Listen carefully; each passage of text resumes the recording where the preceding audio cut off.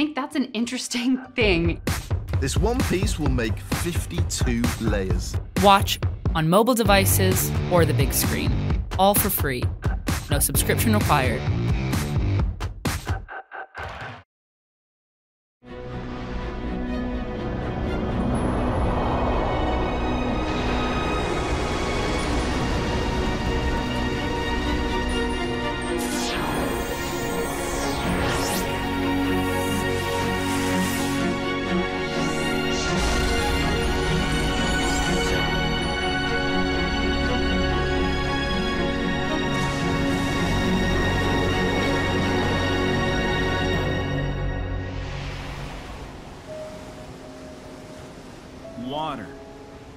Earth's defining feature.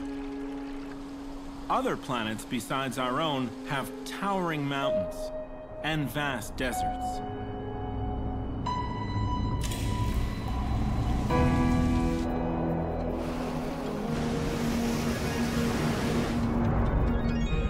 But only on Earth do we find this entire oceans of water in liquid form covering much of the planet's surface.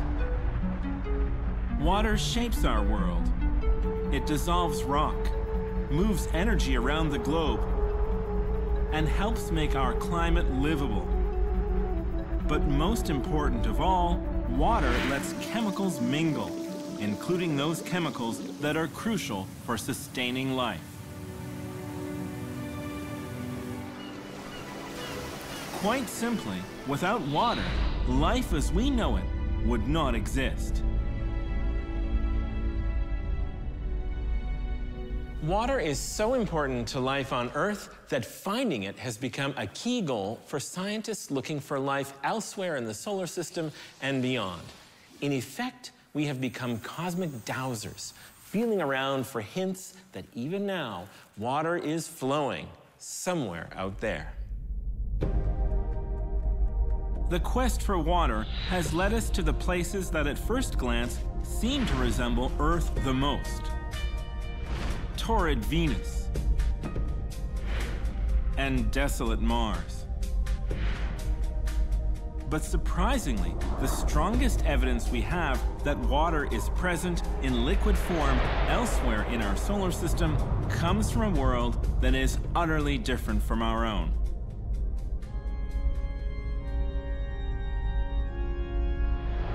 This is Enceladus, a tiny frozen moon of Saturn located a billion and a half kilometers from the Sun. Although it is just one of dozens of moons orbiting Saturn, scientists have long suspected that there is something special about Enceladus. For starters, it has the brightest surface in the entire solar system. And another curious detail, Enceladus travels around Saturn embedded within a faint and diffuse band of particles known as Saturn's E-ring. Astronomers have long suspected that the E-ring is related somehow to Enceladus. But how?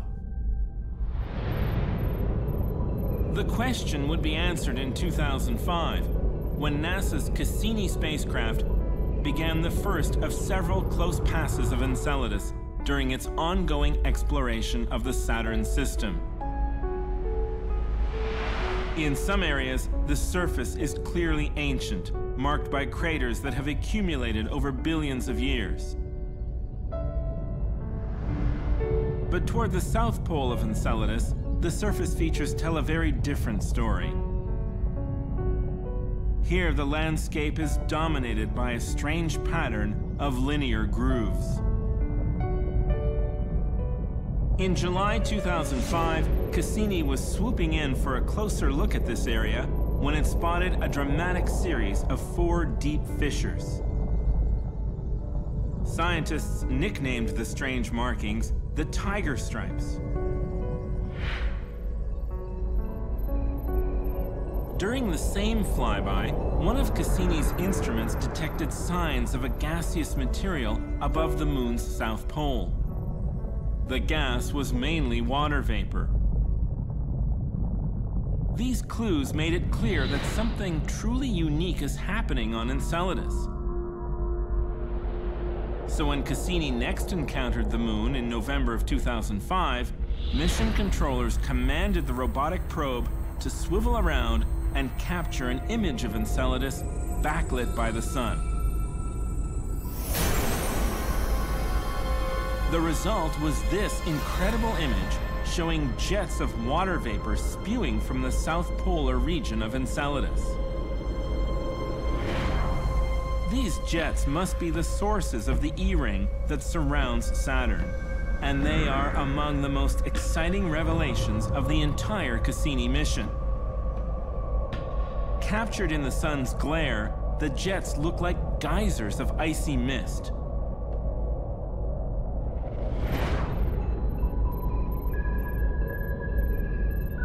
Enceladus, once expected to be a cold and dead moon, seems to have a warm and geologically active interior, and the results can be seen literally spilling through the cracks. But where is the heat coming from? Enceladus is too far from the sun to be warmed by its rays. Yet it is also too small to be able to hold on to the internal heat it acquired when it formed billions of years ago.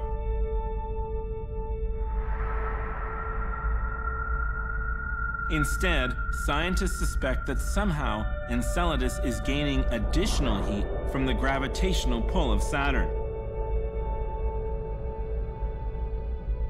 But whatever is heating the moon, evidence is mounting that it's been going on for a long time.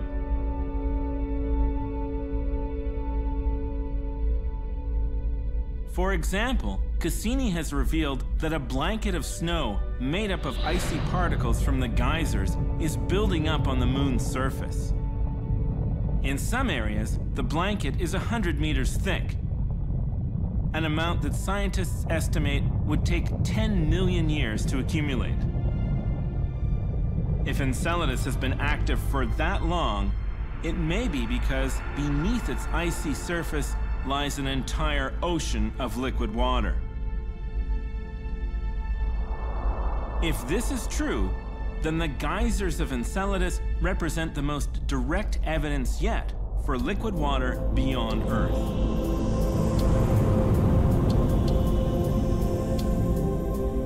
Where there is water, there could be life. But water is a dynamic substance that brings change wherever it turns up. That's why looking for change may ultimately be the best way to find water beyond Earth. In our solar system, no other planet has intrigued, excited, and misled astronomers more than Mars. Mars is the only planet with a solid surface that can be observed easily from Earth and for generations, its rust-colored glow has beckoned would-be explorers. First with telescopes, and then with wave after wave of robot probes.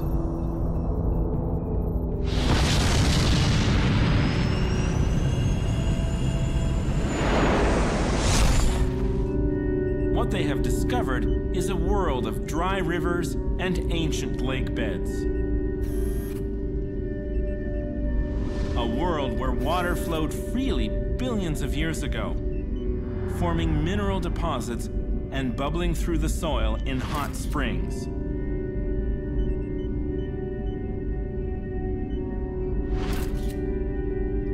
And it is also a world where water still exists, in frozen form, locked as permafrost in the Martian soil. But in all this exploring, is it possible we've missed the most important discovery of all? Mars is a remarkable world with a complex history in which water once played an important role. Today, spacecraft are orbiting around Mars and roving over its surface in an effort to piece that history together. But in the process, they are also turning up some unexpected clues that suggest there may be liquid water lurking on Mars today, and we can find it if we know where to look. Mars has received so much attention over the years, it may seem strange that only now are scientists beginning to spot these clues. But that is because for many decades, the exploration of Mars was a fleeting affair, with visiting spacecraft only surviving for a limited period of time. That changed starting in September of 1997, when Mars Global Surveyor arrived. It was the first of a new generation of orbiters that have had Mars under continuous surveillance ever since. And that is precisely what is needed to look for small-scale changes that could be a sign of water flowing near the Martian surface. At face value, such an idea seems misguided.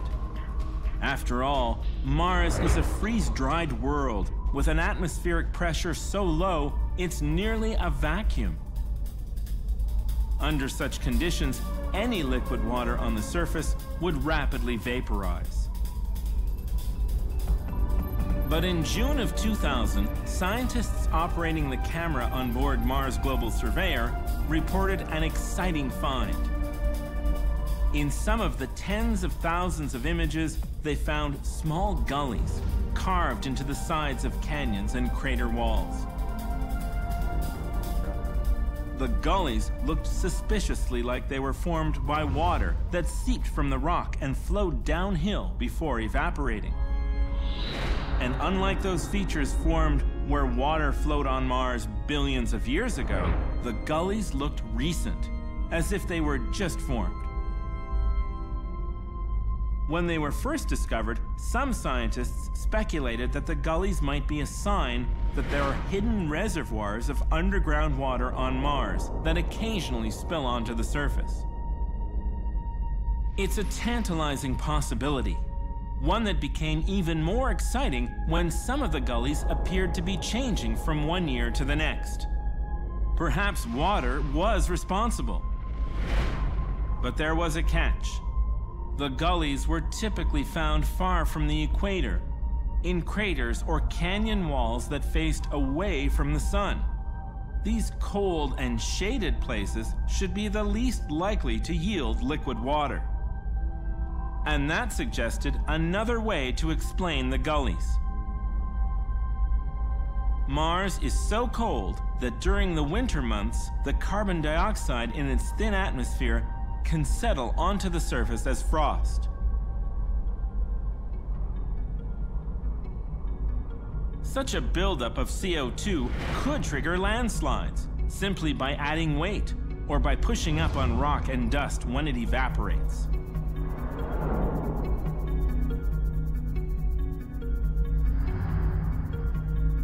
But there remain cases that are difficult to explain. In 2011, Scientists working with the Mars Reconnaissance Orbiter, a spacecraft with the most powerful camera sent to Mars yet, reported that the orbiter had spotted a curious phenomenon in Newton Crater in the southern hemisphere of Mars.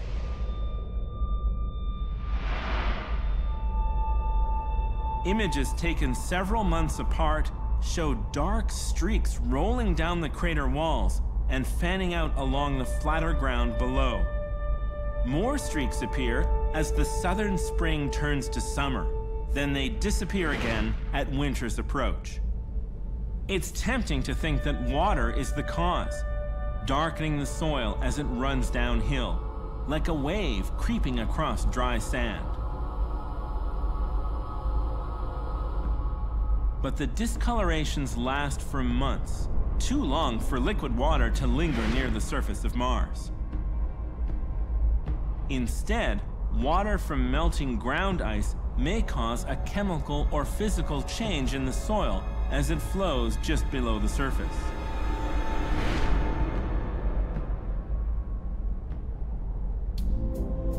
If scientists were to verify that liquid water can sometimes occur on Mars, even briefly, the implications are enormous because that water might be all that's needed to sustain hidden colonies of Martian microbes. It's an incredible idea, one that could put an alien form of life within our grasp. But even as we imagine building more sophisticated machines that will further the quest for water on Mars, another kind of spacecraft has transformed the search for water in the universe by taking it to the stars.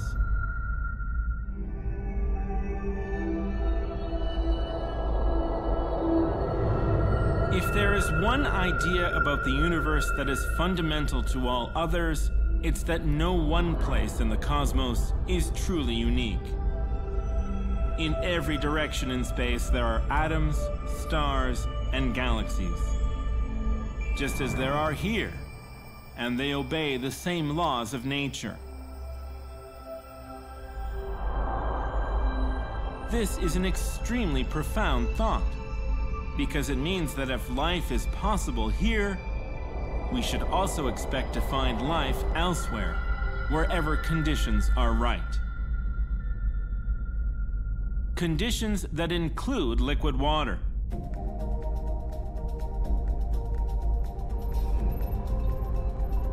Fortunately, space travel has given us a new set of tools for exploring beyond the solar system.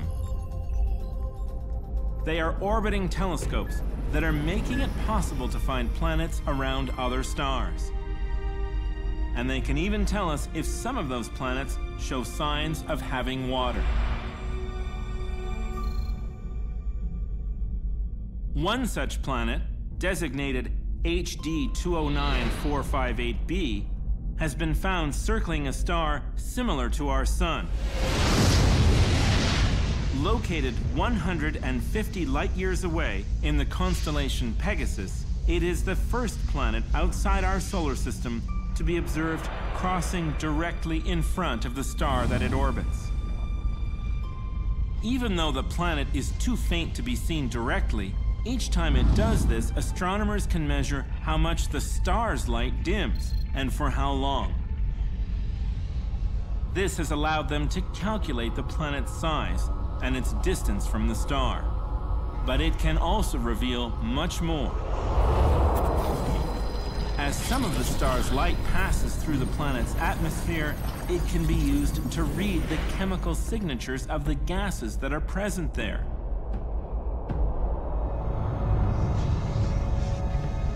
Space telescopes have detected the signs of an extensive atmosphere around the planet and they paint a portrait of a world that is unlike any in our own solar system.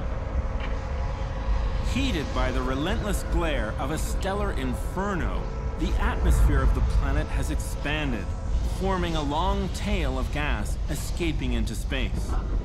Closer in, the atmosphere is subject to thousand degree temperatures and violent winds. At such extreme conditions, and lacking a solid surface, this planet is not expected to harbor life. But in analyzing its atmosphere, astronomers in 2007 made an important discovery. For the first time, they reported evidence for water vapor on a planet orbiting another star. This is exciting, if not a complete surprise. After all, water is one of the most common molecules in the universe. But seeing its signature in the atmosphere of so alien a world means that, in principle, water may also be detected on other planets that are far more similar to our own. The job of finding those planets falls to a highly specialized space telescope.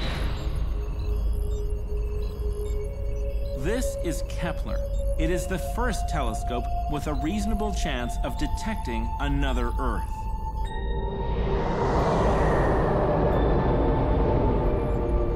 Kepler does this by staring continuously at a single patch of our Milky Way galaxy. By doing so, it can monitor over 100,000 stars at the same time. Every so often, one of those stars will dim for a few hours and then return to normal. If the dimming repeats at regular intervals, then astronomers know that Kepler has found a planet. One of Kepler's most exciting discoveries to date is a planet around a sun-like star simply called Kepler 22b. Kepler 22b orbits at about the same distance Earth orbits the Sun. Just the right distance for liquid water to exist, and possibly life. But Kepler 22b is also not like Earth. Instead, it is nearly two and a half times the size of our planet. Astronomers call such a world a super-Earth. Kepler 22b could be made entirely of rock, or it could be a planet-wide ocean, a water world.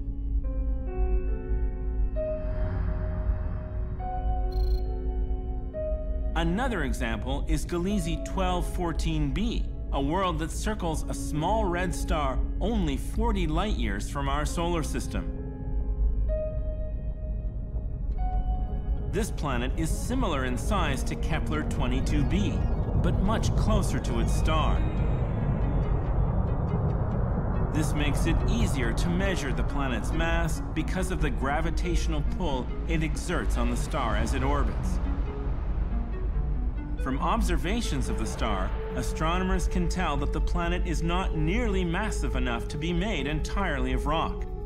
Therefore, it is either a small rocky world with a vast atmosphere or a true water world. If this is confirmed, then the notion of a planet made almost entirely of water will no longer be science fiction. It will instead be one of our nearest neighbors. When we search for water in our solar system and beyond, what we have found is the universe's remarkable capacity to surprise us. Instead of places that resemble Earth, we've discovered Martian gullies, geyser spraying moons, and possibly ocean planets. What all of these findings point to is the incredible variety of environments in which liquid water can exist across the cosmos. On Earth, almost everywhere we find liquid water, we find life. If our world is any indication of conditions elsewhere, then ours is a universe teeming with life.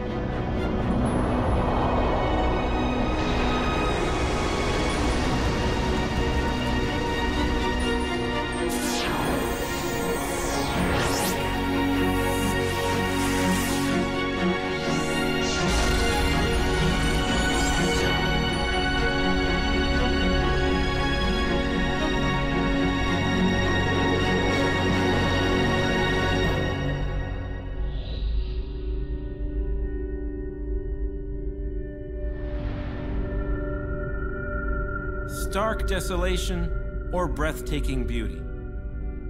The planet Mars offers both at once and much more.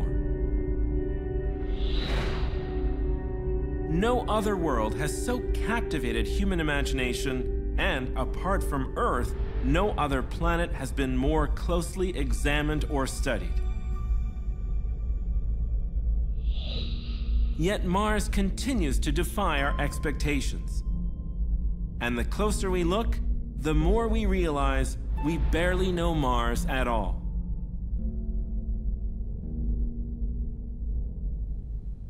The act of exploring another world is a plunge into the unknown. But Mars is different.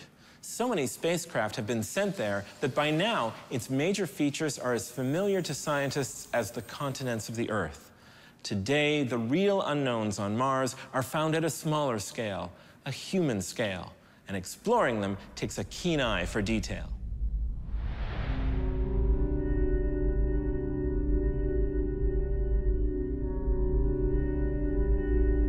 Today, there's no keener eye on Mars than the one that belongs to MRO, the Mars Reconnaissance Orbiter.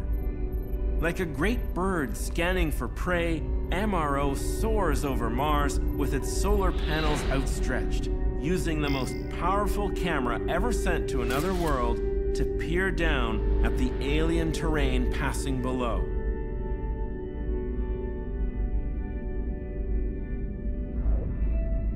As it orbits from pole to pole, MRO scans the surface, creating images in long strips that are only a few kilometers wide, but could stretch to well over 100 kilometers long.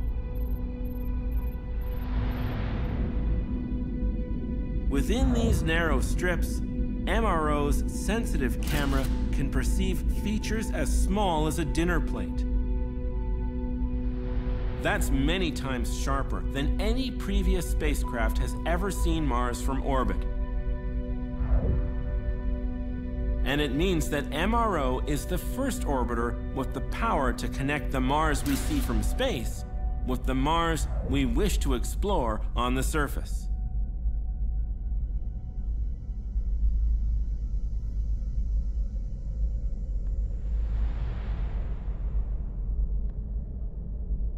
Painted in false color images that are chosen to bring out interesting features, MRO's views of Mars are views at the level of local geography.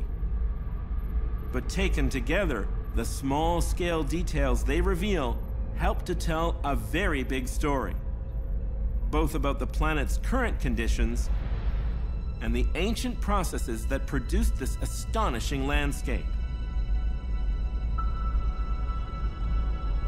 And because those processes involved heat and water, it is also possible that billions of years ago, they enabled the emergence of life on Mars.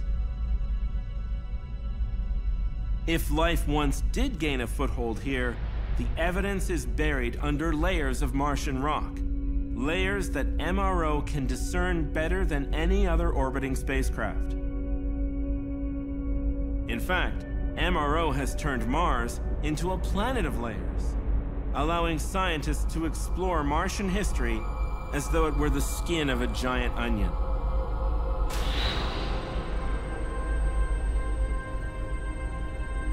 MRO has also shown Mars to be a planet sculpted by wind, where fine-grained dust can form vast fields of dunes that gradually migrate across the planet. The dunes of Mars are spectacular, rippled masterpieces that remind us of nature's power to create and destroy entire landscapes one sand grain at a time. With their shifting, sinuous features, the dunes bring Mars to life, revealing the dynamic nature of its surface.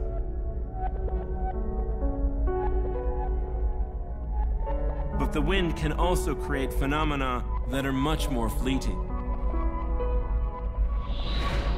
In many regions of Mars, MRO has found dark streaks crossing the plains, like scribble marks from a giant pen. These are the tracks left by dust devils, wispy whirlwinds that traipse across the surface like miniature tornadoes, scouring the rock clean of dust as they go.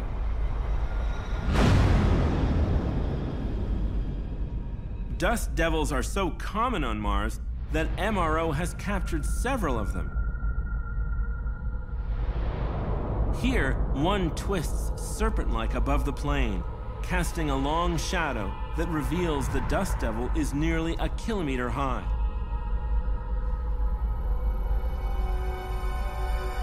Elsewhere, there is a different kind of evidence that Mars can be the scene of dramatic action. Here, the spacecraft examines a crater that was not present in a 2009 photo, but appeared in 2011. In false color, the freshly excavated debris of the blast looks bright blue against the dusky surface.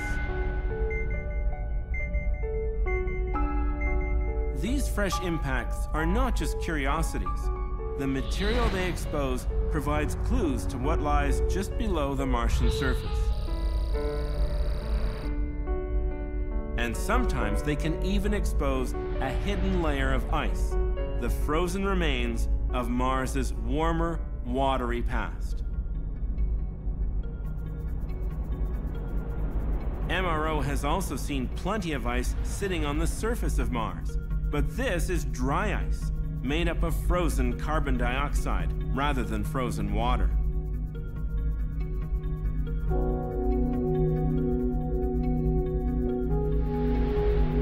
As it comes and goes with the seasons, the dry ice can take on a fascinating diversity of forms, sometimes appearing as though painted on the Martian surface by an artist with a flair for the improbable.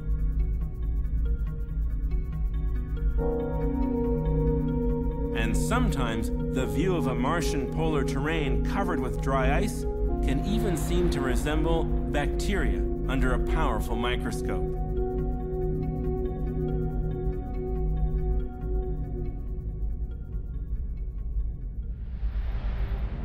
So powerful is the eagle eye of MRO that it has even been used as a telescope to look up at the two moons of Mars, Phobos and Deimos, as they orbit high overhead. These moons may someday serve as outposts where human astronauts arrive before descending to explore interesting sites on the planet below.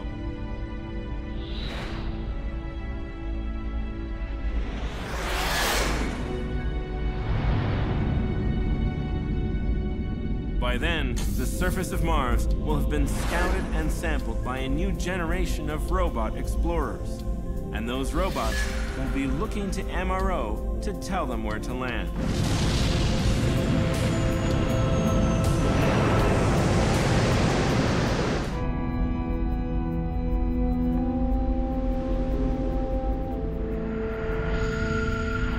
On the smooth slopes of Pavonis Mons, a giant Martian volcano, the Mars Reconnaissance Orbiter makes a startling discovery. A small crater, alone on the featureless landscape, appears to have a strangely dark center. Looking more closely, MRO finds that what seems like a crater is really a natural skylight, where part of a volcanic formation has collapsed exposing a hidden cave below. This remarkable picture invites the tantalizing prospect of someday entering the cave and exploring Mars beneath the surface.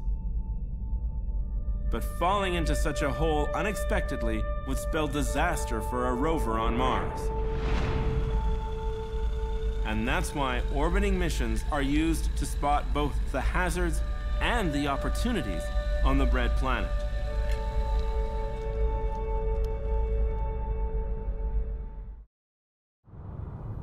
When it comes to Mars, every orbiting spacecraft has two jobs. The first is to explore the entire planet from above, gathering the clues that researchers need to put together the story of the red planet on a global scale. The second job is to pave the way for exploration on the surface of Mars by finding the perfect place to land. With its high-powered view of the surface, MRO has played a key role in the planning of missions to land on Mars, offering more information about potential landing sites than once was ever thought possible.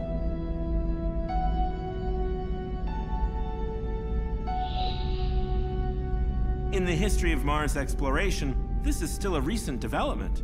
In fact, two of the best-known Mars explorers, NASA's Spirit and Opportunity rovers, had already been working on the surface for years before MRO arrived. Amazingly, MRO's vision is sharp enough to spot the rovers on the surface, although each is not much larger than a wheelbarrow. Here, the orbiter zooms in on the rover Spirit, which gleams brightly as sunlight reflects off its solar panels. Meanwhile, Over on the other side of Mars, MRO finds opportunity perched on the rim of Endeavour crater. With a diameter of 22 kilometers, this is the largest feature Opportunity has explored to date. It headed this way after MRO saw evidence for minerals related to water in its orbital view of the crater.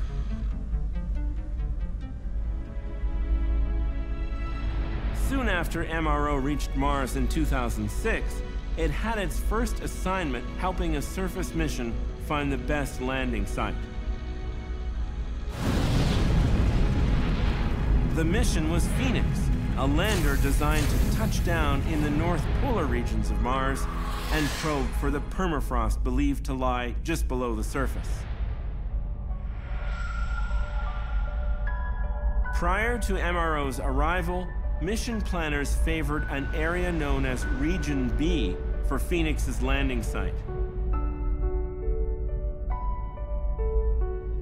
But with their improved view from MRO, they found that Region B was full of boulders that would have spelled disaster had the lander set down on one. Instead, a backup landing site was chosen, and Phoenix landed safely in May of 2008. Soon after, MRO was able to confirm the lander's position by imaging it from space. For the first time in history, a landing on Mars had come with its own eyewitness. The next mission to Mars was to be much more complicated. Instead of a lander, NASA had decided to send another rover to follow up on Spirit and Opportunity's impressive finds. This newer and much larger rover was to be the most sophisticated probe ever to set down on Mars, an entire mobile laboratory. And it might be the first to determine if Mars once had conditions suitable for life.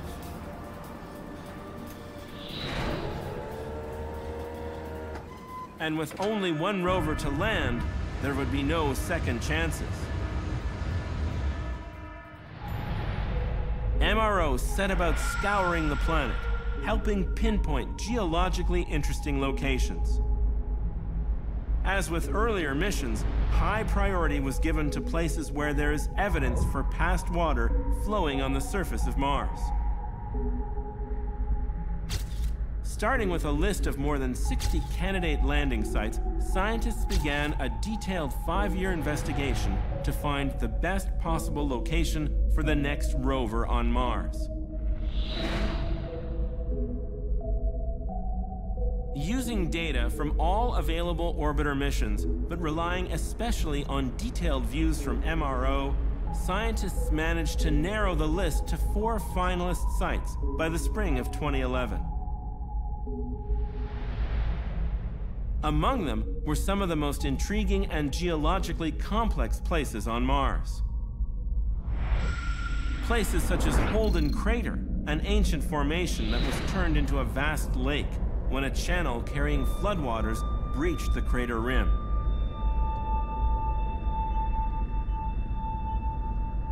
Just north of Holden is another candidate site, Eberswalde Crater. It also shows signs of past flooding. But here, the key feature is an ancient river delta at one end of the crater. A very different kind of landing site presents itself at Mawrth Vallis. Billions of years ago, this channel drained a torrent of water from the Martian highlands in the south to the low-lying northern plains. All three of these sites show terrific potential for uncovering the history of water on Mars. But in the end, scientists chose a fourth site, a site that combines some of the most attractive features of all the others in one location, and adds a mysterious mountain that could unlock the secrets of ancient Mars. After more than 40 years of interplanetary exploration, Mars has offered some of the most spectacular sights in the solar system. From huge volcanoes to deep chasms to the beautifully sculpted layers of ice and dust that cover the Martian poles. But among its many diverse and intriguing features, there is nothing on Mars that looks quite like this. A giant mound, more than half the height of Mount Everest, sitting squarely in the middle of an ancient impact crater. This is Gale Crater, a formation that has long attracted interest and speculation from Mars scientists. It's also the landing site of the most ambitious mission ever to touch down on the Red Planet, NASA's Mars Science Laboratory, better known as the Curiosity rover. Compared to previous rovers, Curiosity is built like a tank. The size of a small car, it weighs 900 kilos and carries 10 separate scientific instruments for the detailed testing of the rocks, soil, and atmosphere of Mars. But most importantly, Curiosity is powered by a device that generates electricity from the radioactive decay of plutonium. Curiosity's nuclear power supply would give it the potential to explore Mars for years, allowing scientists to select a more ambitious target.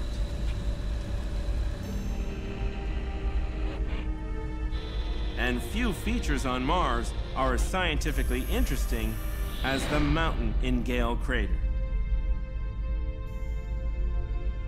Nicknamed Mount Sharp after a pioneering planetary scientist, this strange formation rises above everything else around it, including the rim of Gale Crater. Closer inspection by the Mars Reconnaissance Orbiter has revealed that the mountain is really a pancake stack of sediment, whose lowest sections are made of clay layers that formed in the presence of water. Those layers could well be a gold mine for scientists because they represent a slice of geologic time that spans over hundred million years of the most crucial period in Martian history. A time when Mars may have shifted from a habitable planet to a frozen desert. By July of 2011, Curiosity's fate was sealed. NASA announced that their new rover was destined to become a mountain climber. Three, two, The rover would be sent to Gale Crater, and liftoff.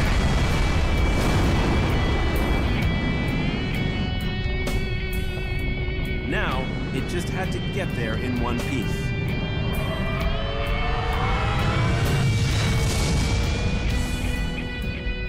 After years of planning and an eight month journey from Earth, the moment of truth arrived on the night of August 5th, 2012.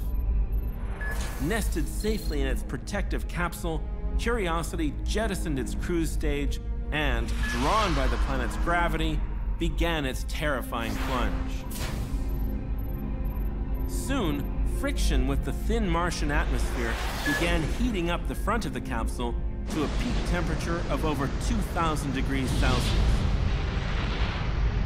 Now, still traveling at over 1,400 kilometers per hour and just 11 kilometers from the surface, Curiosity deployed its parachute. 15 seconds later, the heat shield fell away, revealing the rover tucked inside. But now, the rover was still falling fast when it separated from its parachute and back shell and ignited four powerful descent rockets. But how exactly to land? Separating from its descent stage, the rover was lowered to the surface on three nylon cables. As it touched down, the cables were cut and the descent stage veered off, crashing to the surface a safe distance away. And then came the signal.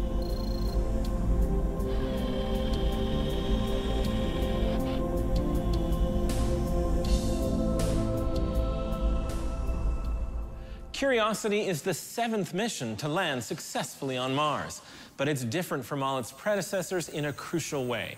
It is the first Mars mission to combine the mobility of a rover and the scale and complexity of a field laboratory with the potential for operating for years on the planet's surface. That combination will change our understanding of Mars forever.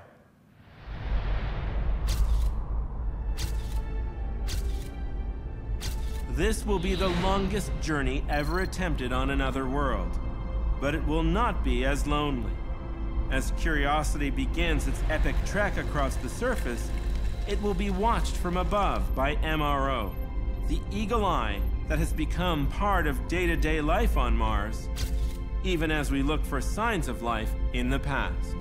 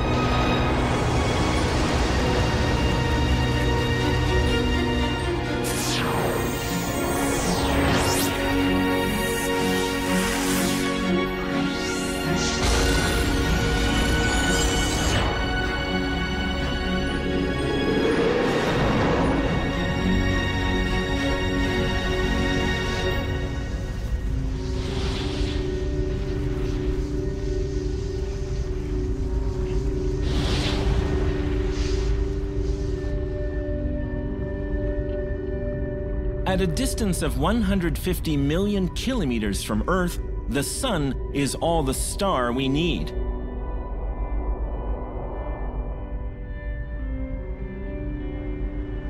Its energy churns our atmosphere, keeps our oceans liquid, and makes life possible. But imagine if the sun were more than three times larger in our sky and blasting every exposed surface with up to 10 times as much energy. Then Earth would be a very different world, a world ruled by heat and light. A world like Mercury.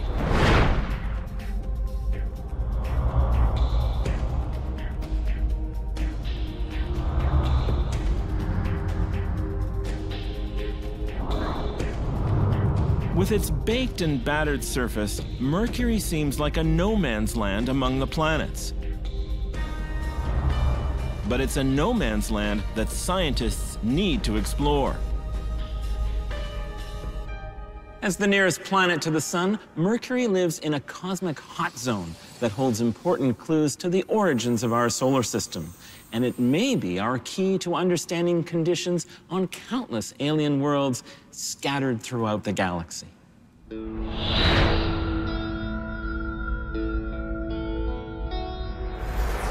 For centuries, Mercury eluded astronomers' best efforts to learn its secrets.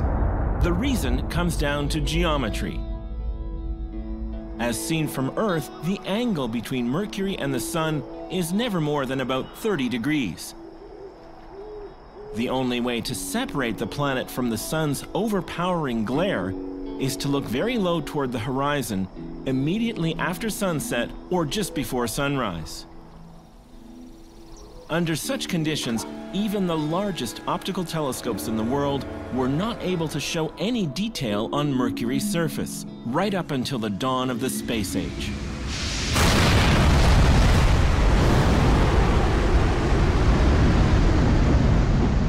All of that changed with Mariner 10.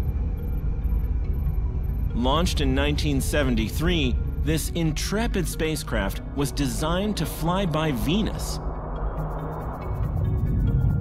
But scientists realized they could get two planets for the price of one by including Mercury as a second target. During 1974 and 1975, Mariner 10 made three separate passes of Mercury, coming to within 327 kilometers of the planet's surface during its third and final approach. During those historic encounters, centuries of speculation were replaced with a stark new picture of the solar system's innermost world. Mariner 10 revealed a heavily cratered planet that looked a lot like Earth's moon.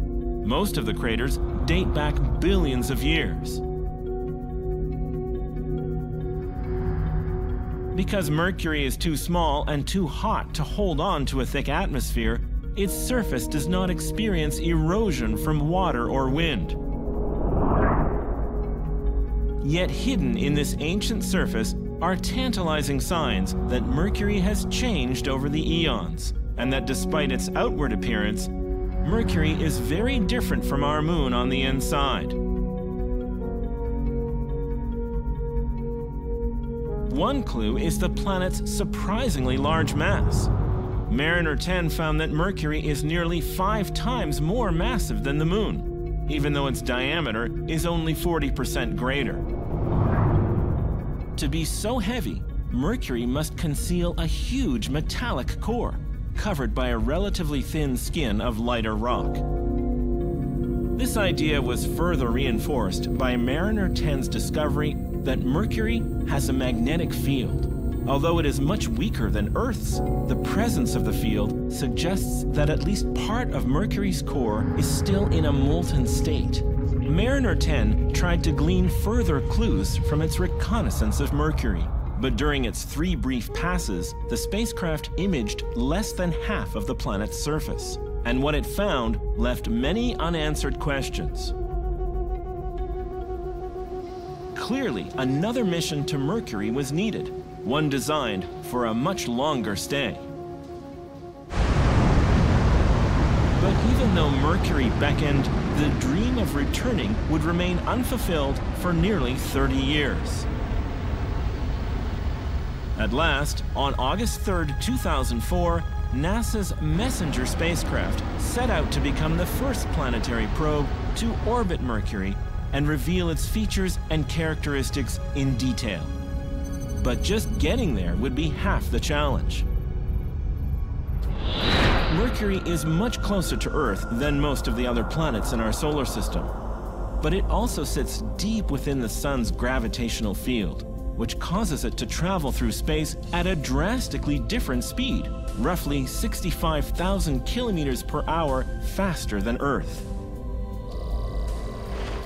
In order to put itself in orbit around Mercury, rather than just sail by, Messenger would first have to match its speed to the planet's. Paradoxically, that meant the spacecraft would have to lose energy to allow it to gradually spiral in closer to the Sun. The journey would take over six and a half years. Along the way, Messenger passed near to Mercury on three separate occasions, giving scientists a chance to test the probe's cameras and sensors.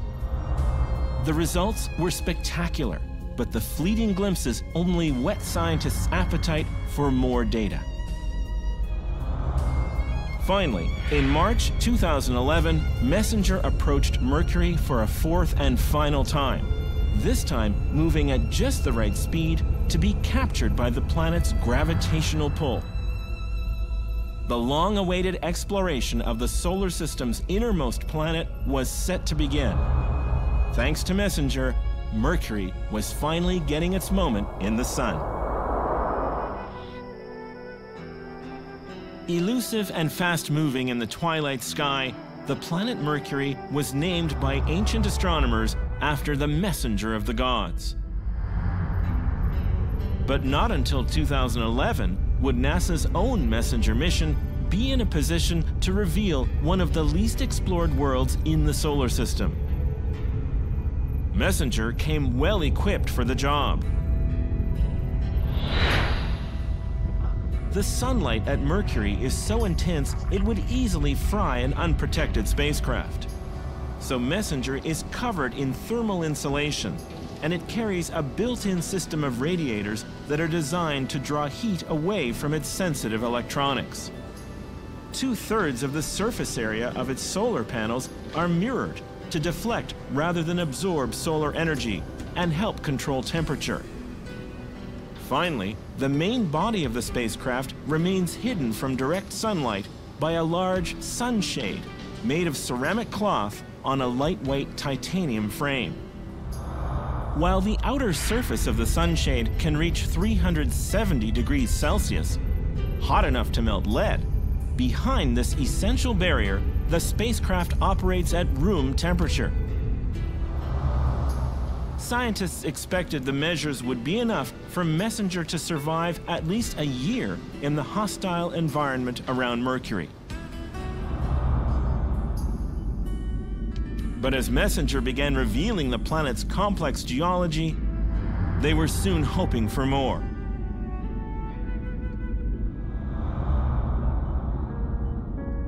With both a wide and a narrow angle camera, Messenger would be able to map the entire surface of Mercury down to features one kilometer across and zoom in on areas of special interest to see details as small as 20 meters across.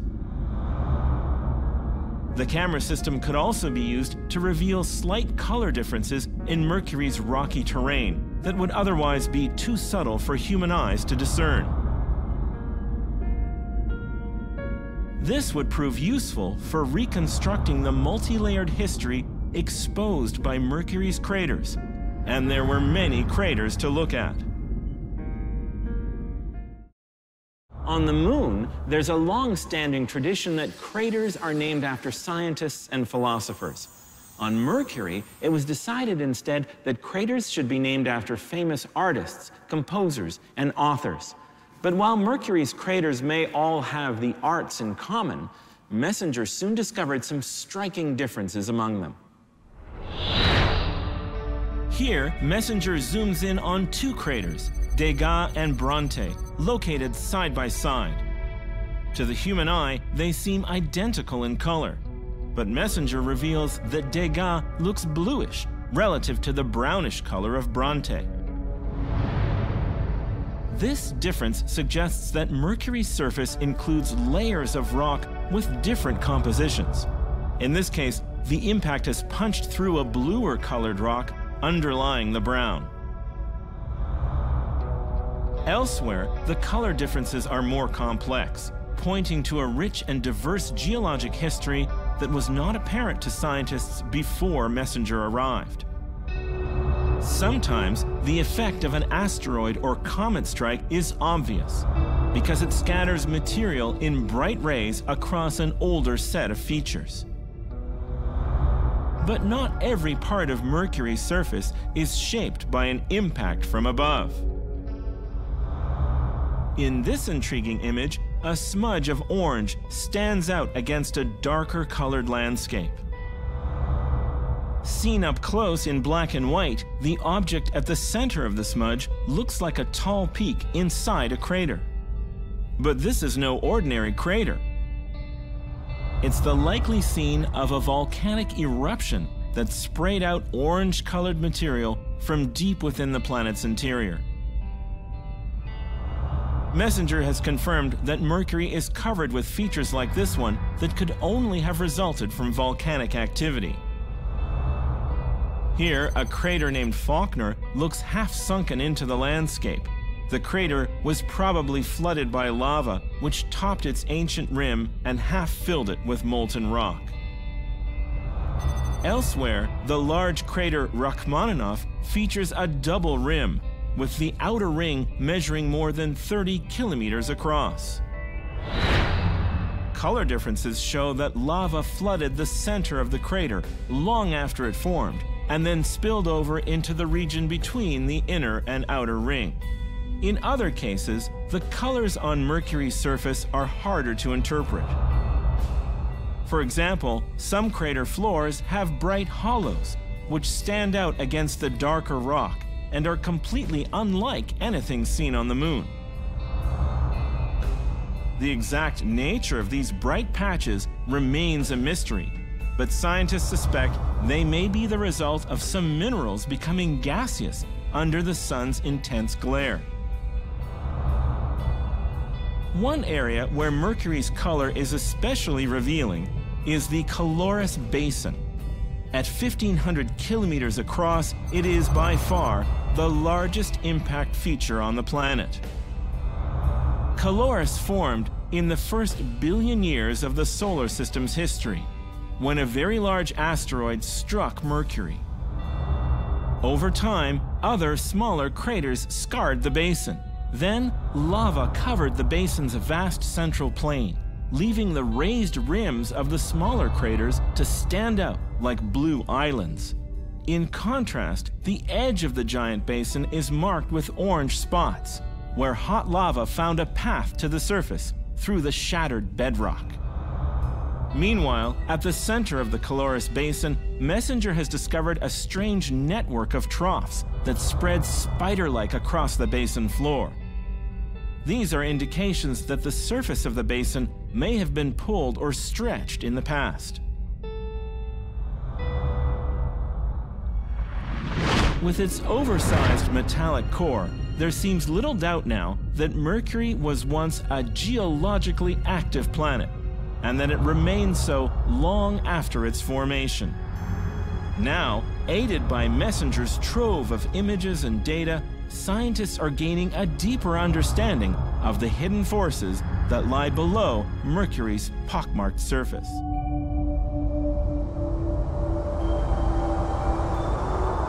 Hundreds of light years from Earth, a newly discovered world basks in the fierce light of an alien sun.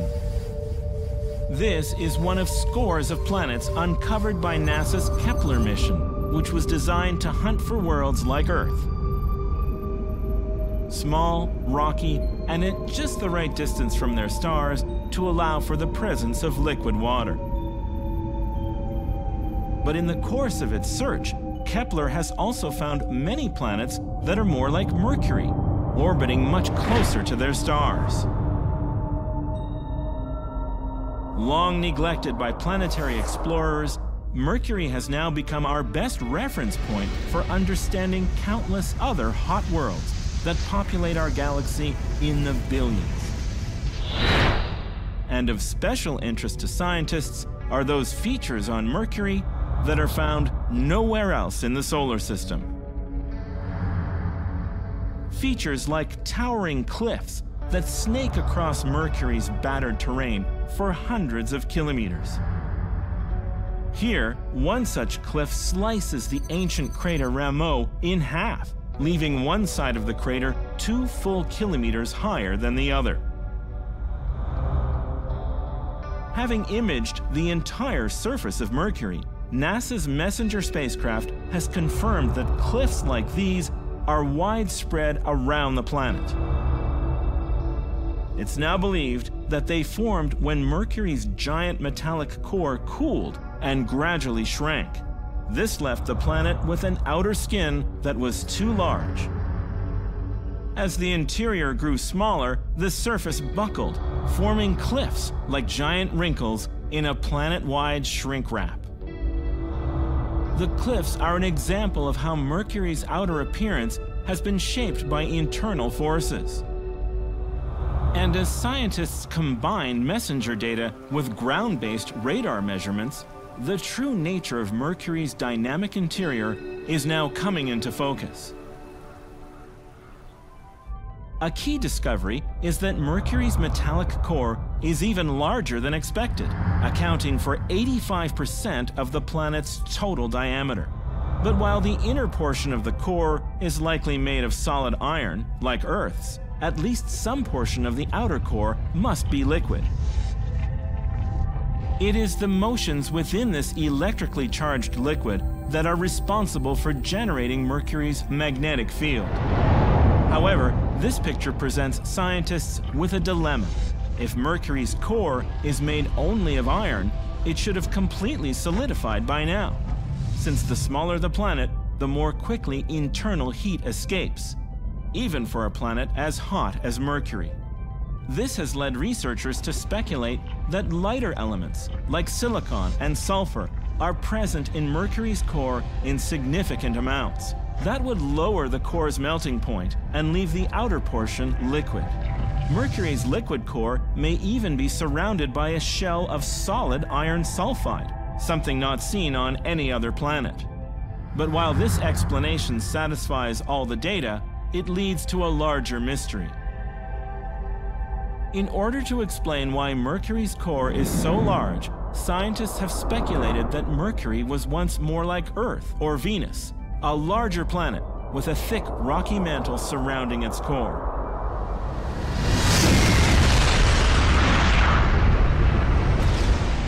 Then, an enormous collision with another object blasted off much of that mantle, leaving the core intact. Another theory suggests that in the very early days of the solar system, the sun went through a much hotter phase and boiled off some of Mercury's mantle with its intense heat. But the latest findings challenge both of these theories. Instead, it may be that Mercury formed as it is now, small but rich in lighter elements that were once thought not to have been abundant so close to the Sun. Whatever the explanation, it's clear there's something about Mercury's history and about the formation of the solar system as a whole that we don't yet understand. And that's not the only way that Mercury is defying expectations, because here, on a world so thoroughly baked by the sun, Messenger has also discovered ice. As hard as this is to imagine, scientists already had hints that there was ice on Mercury, because radar observations indicated there is a highly reflective material somewhere near the planet's north and south poles. Mercury's poles are where we find deep craters whose bottoms remain in perpetual darkness as Mercury rotates on its axis. Shielded from direct sunlight, these craters are like cold traps for water vapor brought to Mercury by incoming comets that collide with the planet's surface. Although Messenger's cameras cannot see into these dark-bottomed craters, Messenger detected the presence of ice with a device called a neutron spectrometer, which measures how much the ice absorbs the energy of incoming cosmic rays. The data suggest there could be up to 1 trillion tons of ice on Mercury, to a depth of several meters. If so, the ice makes a tantalizing target for future explorations of the planet's surface. Again and again, Mercury has proved to be an astonishing place. Not just a hotter version of our moon, but a fascinating world in its own right, with a history that is crucial to our understanding of rocky planets everywhere. That is why the European and Japanese space agencies have now joined forces to send another mission to Mercury, which is scheduled to arrive early in the next decade.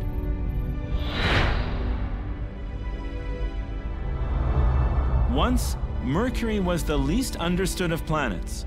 Today, it has become one of the most interesting and the ambassador of a vast and emerging population of newfound worlds that together make up the cosmic hot zone.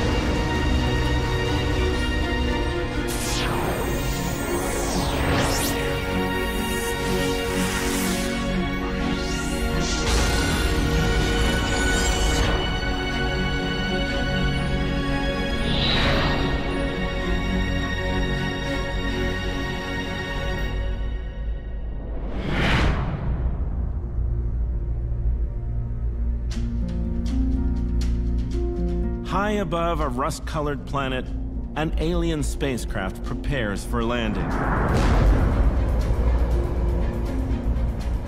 It has traveled for nearly nine months, hurtling through more than half a billion kilometers of interplanetary space.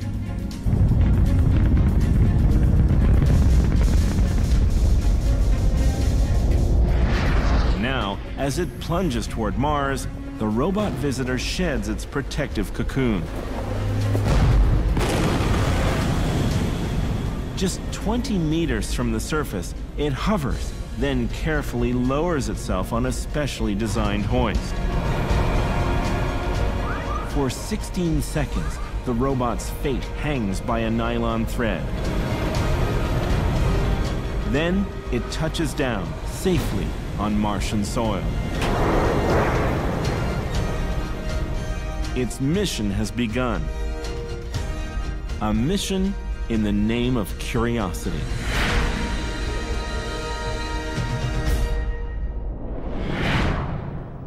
When NASA was looking for a nickname for its 2012 Mars rover, it could hardly have chosen a better one than Curiosity. Eight years before, its two predecessors, Spirit and Opportunity, had proved that roving vehicles could revolutionize our understanding of the red planet. With Curiosity, rover technology had advanced, and scientists were in the driver's seat. Those scientists were guided by an ambitious goal. Previous missions had shown that in the distant past, Mars had standing water on its surface. Now, Curiosity would go one step further and try to determine if Mars could once have supported life. That's a more challenging question to answer, and researchers needed a bigger rover to answer it. At 900 kilos, Curiosity is the size of a small car, allowing it to carry 15 times more scientific hardware than previous rovers. It's the most sophisticated suite of instruments ever to land on another planet. And for the Mars program, it's a big shift in approach. Earlier rovers were designed to be like wandering geologists, traveling over the landscape of Mars with a toolkit similar to one that a human astronaut might carry. By comparison, Curiosity is an entire laboratory on wheels. Its equipment includes a laser capable of zapping rocks up to six meters away in order to read their chemical composition. And its two meter long robot arm carries a camera and a spectrometer for examining the surface up close, as well as a drill for extracting rock samples that can be tested by various experiments inside the rover. This is a planetary explorer like no other. And so is the place it set out to explore.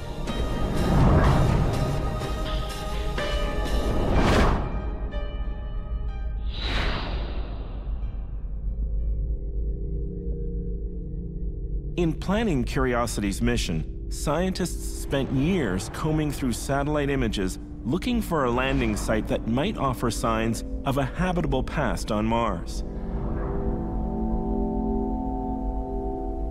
The search led them here, to Gale Crater.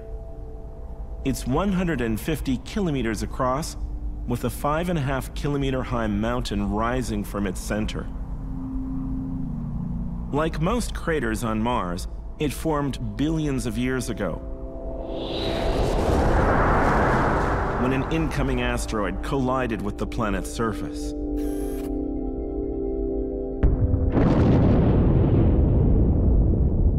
Force of the impact blasted a giant hole in the Martian bedrock.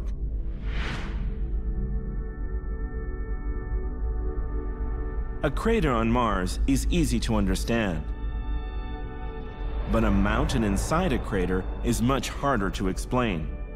How could such a towering feature have grown out of a deep basin? Scientists now suspect the answer is that the mountain didn't grow at all. Rather, it was left behind as other material was removed. The theory is that sometime after Gale Crater formed, it was blanketed with dusty sediment. Eventually, layer upon layer of sediment filled the crater to the brim and beyond.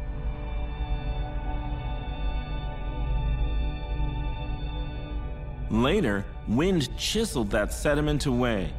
It scoured out the crater walls, but left a large mound in the middle. The mound's official name is Aeolis Mons, but NASA scientists have dubbed it Mount Sharp, after Robert Sharp, a pioneer of planetary geology. Mount Sharp is what brings Curiosity to Gale Crater. Scientists hope that by climbing its rocky flanks, the rover will be able to read millions of years worth of geologic history laid down one layer at a time. Some of those layers are plainly visible from orbiting satellites. The lowest layers are the oldest. They're of special interest because the data suggest they're made of clay, which means they were likely deposited by water long ago. Moving further up the mountain, other layers may reveal how those watery conditions changed over time. The upper reaches of the mountain appear to be made up of material that was deposited by wind once the planet became dry and dusty. From top to bottom, the mountain seems to present the complete story of Mars.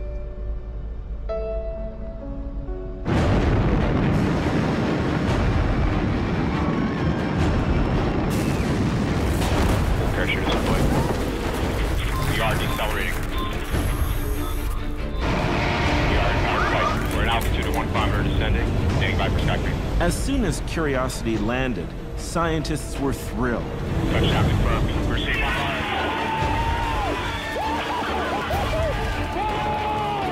Not only had the rover touched down safely, Mount Sharp was in plain sight. It towered on the horizon in one of Curiosity's first pictures from the surface. But the mountain was eight kilometers away, and scientists knew it would take the rover more than a year to get there. So before the long trek began, they decided to explore Curiosity's immediate surroundings. It was to be the first test of their new laboratory on Mars. But little did they know just how much that test would reveal.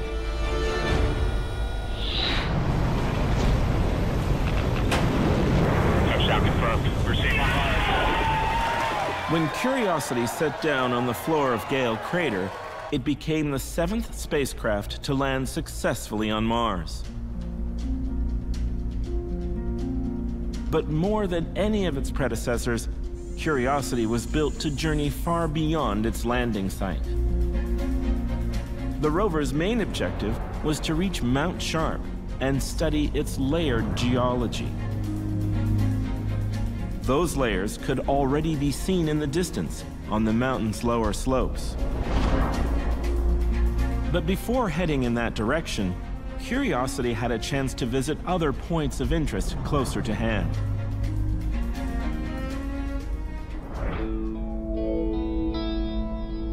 Just a few steps from where Curiosity stood, scientists could see where the rover's descent stage had blasted away loose dust and gravel. The exposed patches showed that the soil was only a few centimeters deep in this part of the crater. Below it lay what looked to scientists like a type of conglomerate rock, a rock made up of smaller pieces cemented together. This was intriguing, but Curiosity did not venture any closer, in part to avoid contamination from any lingering traces of rocket exhaust. Instead, scientists now had a different idea. Not far from where Curiosity landed, satellite images showed where a river had once spilled into the crater. The riverbed ended in a fan-shaped deposit, left behind by water spreading sediments out over the crater floor.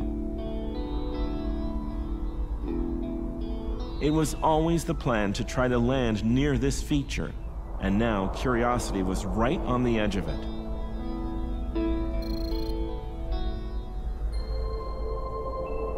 By using the satellite imagery as a guide, scientists could see that just a few hundred meters from the landing site lay a point where the river deposit intersected with an older terrain.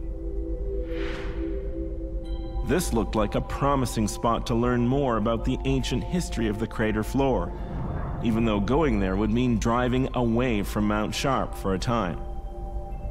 In the end, the detour would take far longer than scientists expected, but it would eventually lead to a big discovery.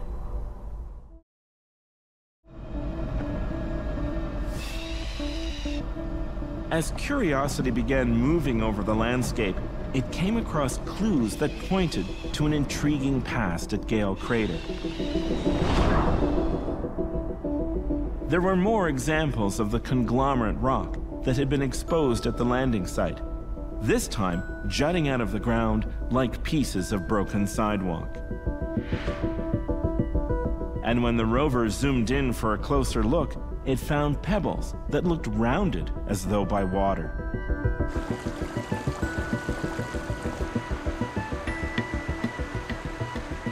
This is typical of what is found in ancient stream beds on Earth. Already, the geologic story emerging from Gale Crater looked like an exciting one, but filling in the details would take time. As they carefully gathered data, scientists were striving to understand if Mars could have supported life long ago. But given the rover's capabilities, there was also a more immediate question. Could there be something alive on Mars right now? And there was a chance that Curiosity might provide the answer by plucking it out of thin air. For 10 years, scientists had been tantalized by reports of trace amounts of methane in the Martian atmosphere. The reports were mainly based on observations made from Earth, but the presence of methane was also indirectly confirmed by Mars Express, an orbiting spacecraft run by the European Space Agency. The Earth-based observations show that the methane seemed to be concentrated around particular features on the Martian surface like these giant gashes called nili fossae, where spacecraft have also found signs of carbon-bearing minerals. If correct, this was a major find. On Earth, methane gas is produced by living things. It's a telltale sign of biological activity. Methane gas can also be produced chemically, but that requires the right kind of minerals along with water and plenty of heat. Either way, methane would mean that Mars was not a dead world, but a geologically and possibly biologically active one, somewhere below the surface. Now Curiosity was in a position to weigh in on Martian methane. Unlike earlier rovers, it had the technology to directly measure the chemical composition of the atmosphere. Over an eight-month period, that's exactly what the rover did. The result was a surprise. The rover found no significant amounts of methane on Mars. Either the methane reported earlier had completely vanished through some unknown process, or, because of a misreading of data, those earlier reports were wrong. This is not the first time Mars has given scientists contradictory evidence related to alien life. But with the methane question out of the way, at least for now, Curiosity still had plenty to do. And its exploration of the Red Planet was about to take an exciting turn at a spot called Yellowknife Bay.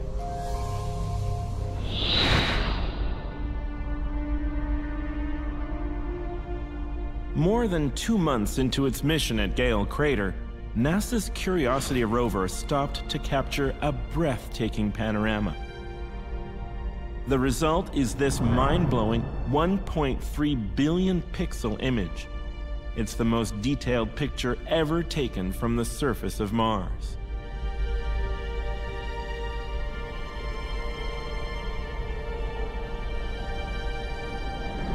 By this point, the rover had driven about 400 meters.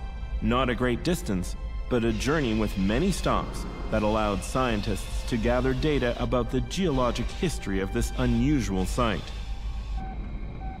To the right lay the rising slopes of Mount Sharp, the rover's ultimate destination.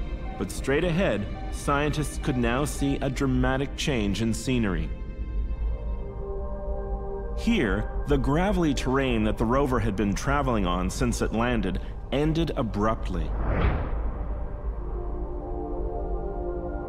Up ahead lay a more complex looking surface, with different layers of rock exposed in the form of assorted steps and slabs. Scientists were keen to explore this location, which they called Yellowknife Bay. The name is a tribute to the capital of the Northwest Territories, a frequent jumping off point for geologic expeditions in Canada's north. By now, they'd had a chance to zap a rock with the rover's onboard laser and scoop up some soil for analysis. But neither the rock nor the soil could tell them much about Gale Crater. That's because the rock had been blasted there by a meteorite impact, while the soil had been carried in on the wind. So to understand the hidden history of the crater, Curiosity needed some local bedrock to drill into. It began by sidling up to this intriguing outcrop, made up of thin layers of sedimentary rock. Some of the layers were at different angles, suggesting the rock was made from sediments deposited by flowing water along an undulating stream bed. After a close inspection of this outcrop, Curiosity worked its way downslope to find an underlying layer of sandstone. And beneath that, the rover found still another layer. This one was mudstone, a type of rock made of fine silt or clay that was deposited long ago, perhaps at the bottom of an ancient lake.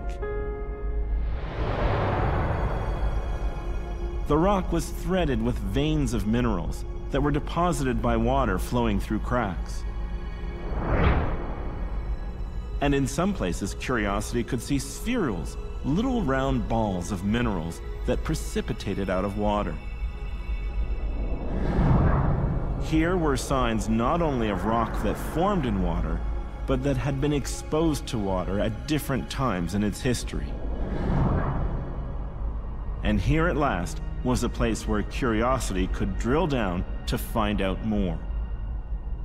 After carefully scouting the terrain, scientists chose a rock they named John Klein, after a deputy project manager with the rover mission who died in 2011. Using its robotic arm, Curiosity reached down and swiveled its drill into position. The drill punched a small hole into the rock, producing a tablespoon's worth of fine powder, which the arm delivered to the rover's onboard experiments for analysis.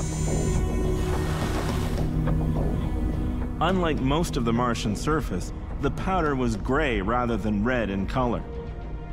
That meant the minerals inside the rock had been sealed off from the atmosphere for billions of years. Here was a rock that offered a direct connection to the past.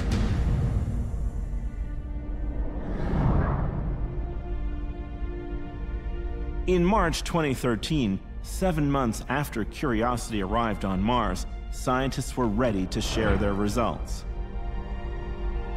A detailed analysis showed that the minerals in the rock had formed in water that was much like fresh water on Earth, non-acidic and not very salty. Furthermore, there were chemicals in the rock that the right kind of microbes can use to drive metabolism. Curiosity had found the key ingredients that could have allowed life to flourish when there was water in Gale Crater. For Curiosity, this was mission accomplished. While it's still not known if Mars ever harbored life, scientists can now say life was at least possible there billions of years ago. With the discovery came the news that the rover's mission had changed. Having answered its original question, Curiosity would now try to find out where and how to search for signs of past life on Mars. By the summer of 2013, the mission reached a major turning point. After making several more follow-up measurements, scientists said goodbye to Yellowknife Bay forever and put the rover on course for Mount Sharp. The first phase of the mission was over, and there were new discoveries ahead.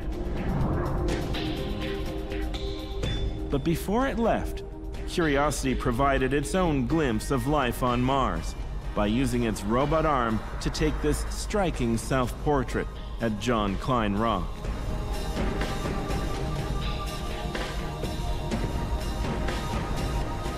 It may be a long time yet before we know if there ever really was life on Mars.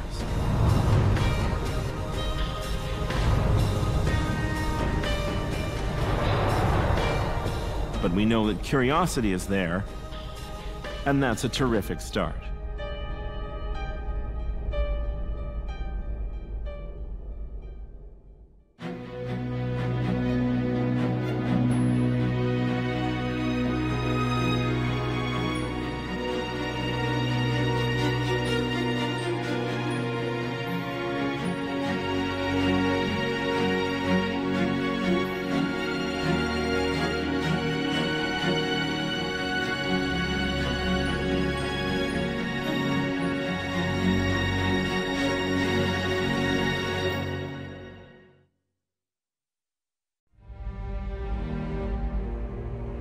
For generations, our world has challenged explorers to seek what lies beyond the horizon. Now, the invention of spaceflight is leading us outward to explore a host of alien worlds with vast new territories. Today, we see the sun, moon, and planets with penetrating clarity through the eyes of the intrepid machines blazing a trail for us across the solar system. Their cameras have become our windows onto a bold new adventure. Their discoveries have become our cosmic vistas.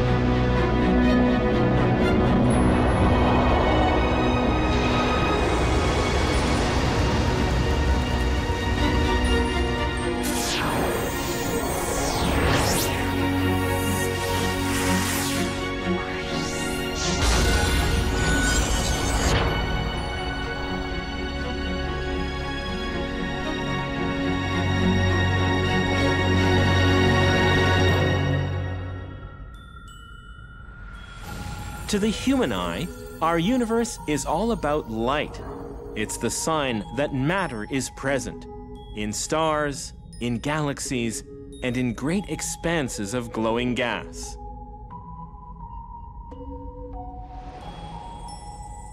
But despite its beauty, this colorful realm of gas and stars is not a place where life can exist. Life as we know it is too fragile to survive the searing temperatures that make atoms of gas glow in space. What life needs is a very different kind of place. One not simply made of swirls of gas, but of something solid. Life needs a rocky planet. Without planets made of rock, there would be no chance for life as we know it. But simply having a solid place to stand is no guarantee that life will gain a foothold. We can see this in our own solar system, where there are many different kinds of rocky worlds.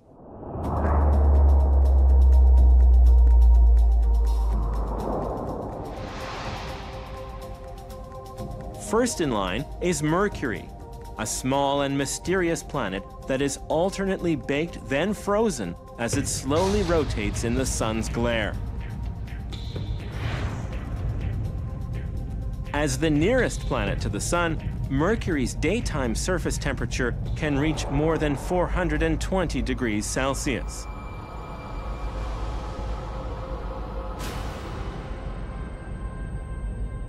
Yet on the planet's night side, where heat is quickly radiated into space during long months of darkness, the temperature can drop below minus 180. For decades, Mercury's one and only visitor was the Mariner 10 spacecraft, which flew past the planet three times, starting in 1974. It gave us our first close-up look at Mercury's baked and battered surface.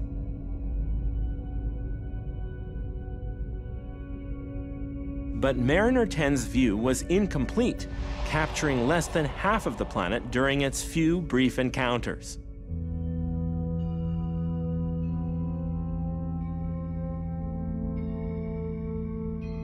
So, in 2004, NASA launched a new mission, Mercury Messenger, whose goal is to orbit Mercury and provide the first comprehensive survey of its geological features and mineral composition.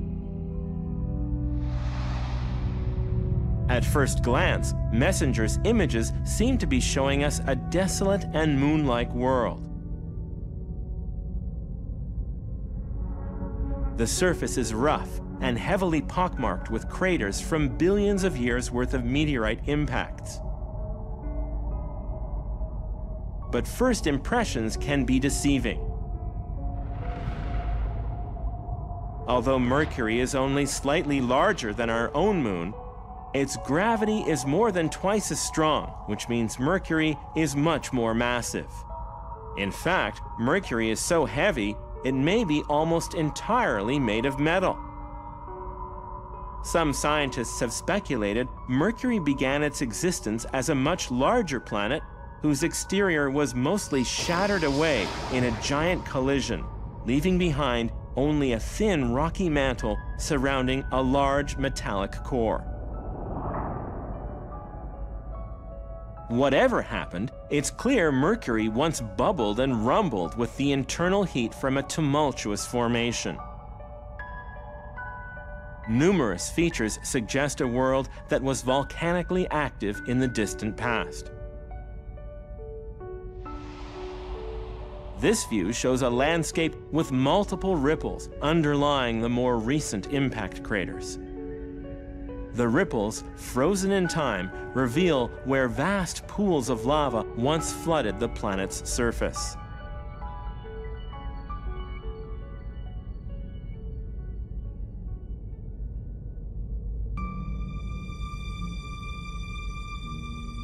In this image, false colors help to highlight Mercury's complex history.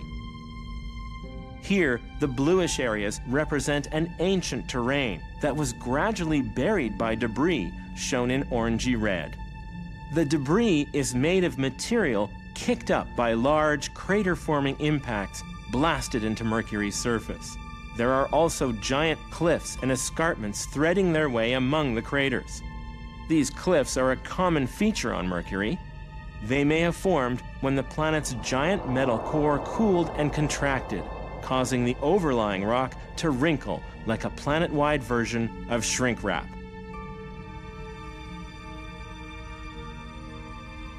Messenger's first views of Mercury reveal the bare bones of a rocky world. There is nothing here but a solid surface that hasn't changed very much over eons of geologic time. While Mercury may provide the beginnings of a stable platform, it is far too hot and barren to be anything other than an empty stage.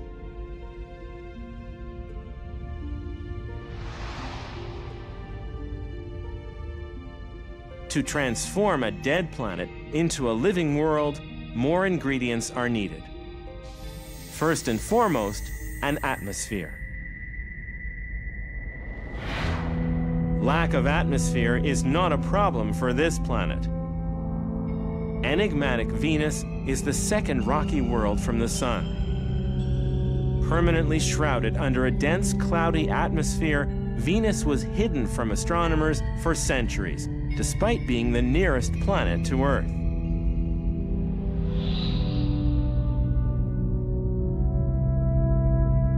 Now we know that Venus's atmosphere is a toxic brew composed of carbon dioxide with clouds rich in sulfuric acid. The carbon dioxide is brutally effective at trapping the sun's energy, heating up the planet to a staggering 460 degrees Celsius. That's even hotter than Mercury, although Venus is twice as far from the sun. And Venus's atmosphere is incredibly dense. The air pressure at the planet's surface is so high, it would easily crush a human astronaut to death. These conditions are so extreme that to date, we have only fleeting glimpses of Venus's surface taken by a handful of Soviet landers, none of which survived more than two hours. With a planet so inhospitable to spacecraft, scientists have had to come up with another way of exploring Venus's hidden terrain from a safer distance.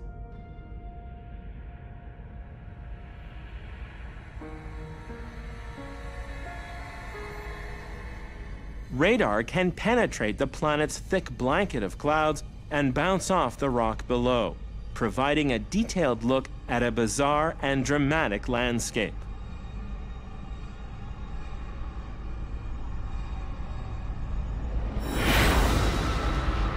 What these images reveal is a world shaped by volcanoes, and one that could still be volcanically active today.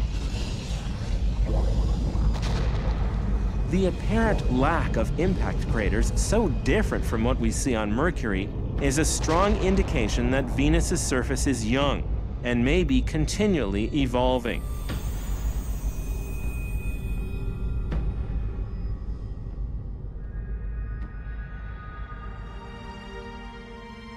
Scientists now suspect that in the past, Venus may have been much more like our own planet.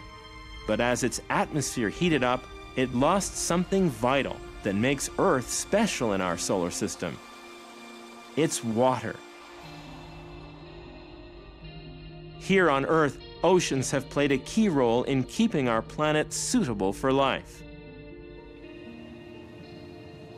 Not only do oceans moderate the climate, and help keep the atmosphere stable, they lubricate Earth's rocky surface, so its internal heat is mainly channeled into moving the continents slowly around the planet. Without water, heat would build up and burst out in vast and deadly lava flows, as may have occurred on Venus.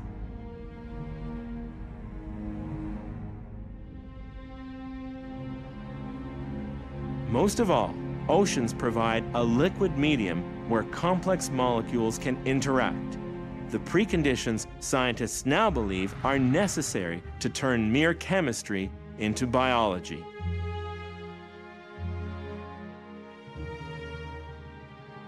Earth is our best example of the true potential of rocky worlds. It seems that when a planet has all three ingredients, a solid surface, an atmosphere, and oceans of liquid water, it can foster something new the emergence and evolution of life.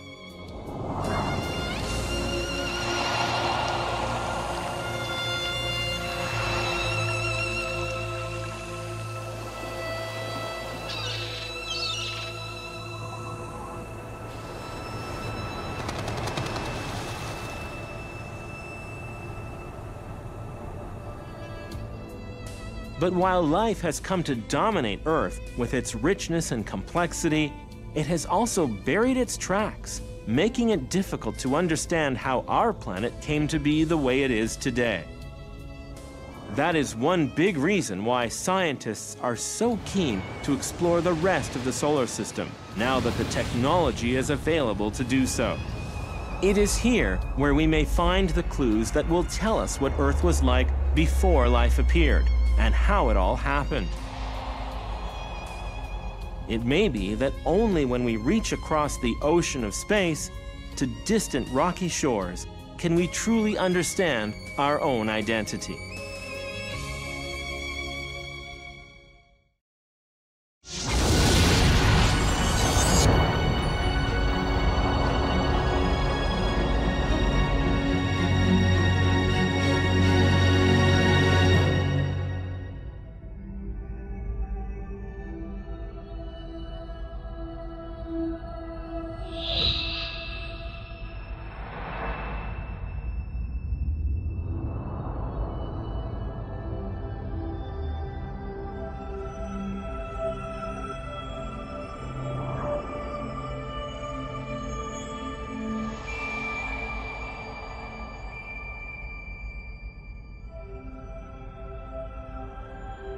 In all of nature, there is perhaps no view as haunting and beautiful as a full moon. It is both familiar and mysterious. A part of our world, yet a world unto itself.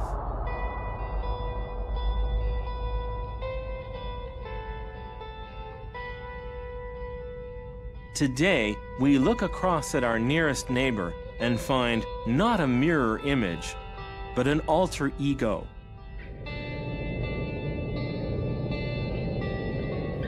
While Earth looks lush and colorful, the moon is a study in black and white.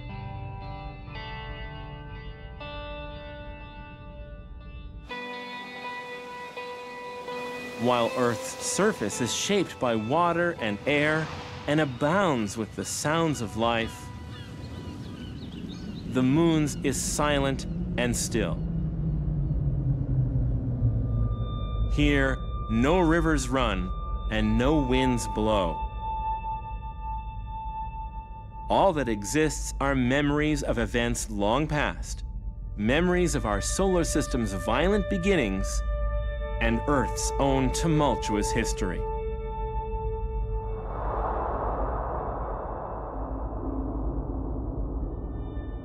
For billions of years, the moon has been the ultimate silent partner, keeping watch over Earth from above and keeping its secrets to itself.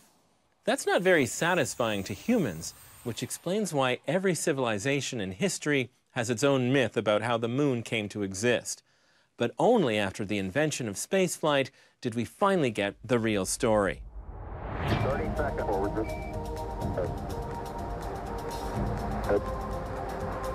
40 feet down, two and a half.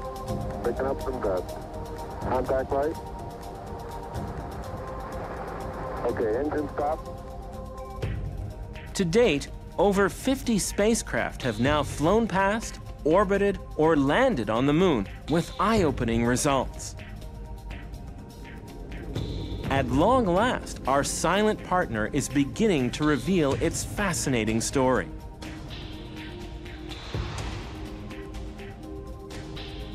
When viewed up close, the moon's surface is inundated with impact craters.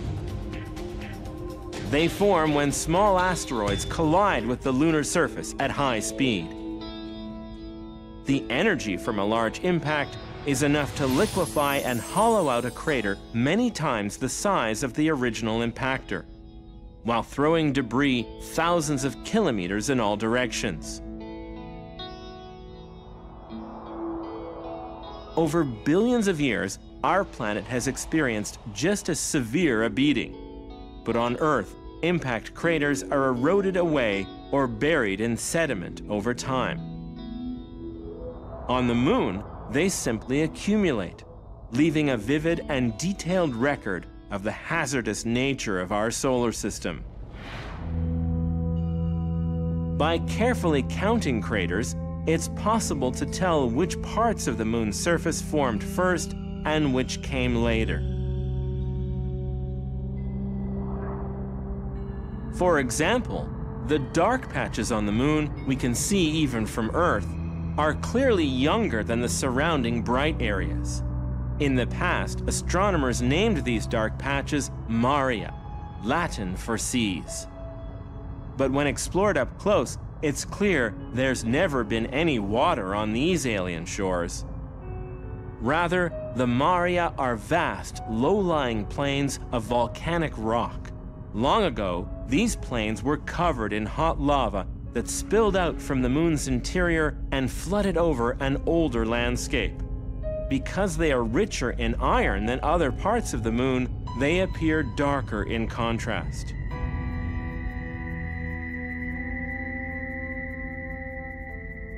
One of the big achievements of lunar exploration has been the complete mapping of both sides of the moon's surface. The moon rotates in perfect time with its orbital period, with one side constantly facing Earth. Surprisingly, the two sides of the moon turn out to be quite different from one another.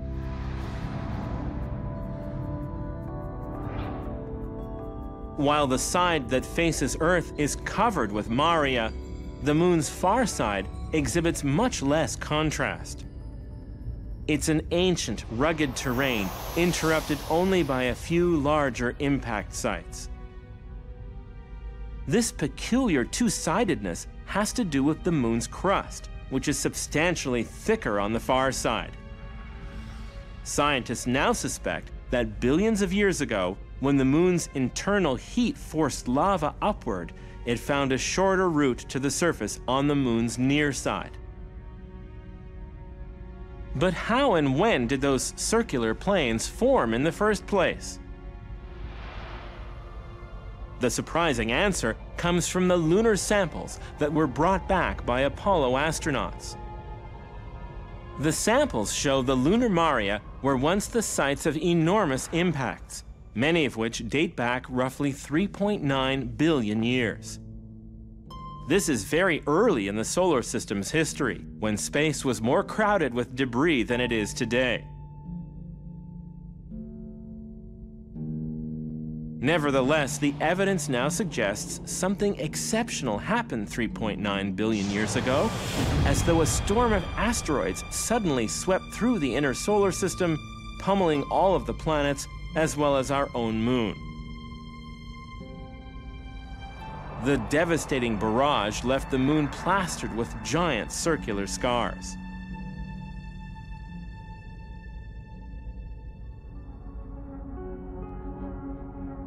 On Earth, it was much worse. The impacts would have vaporized oceans and liquefied large sections of our planet's crust. Though no animal or plant was living on Earth at the time, it is possible microbial life had already made its debut. When the bombardment came, perhaps only those microbes that were dwelling far down near deep sea vents survived to repopulate the ancient Earth and become our distant ancestors.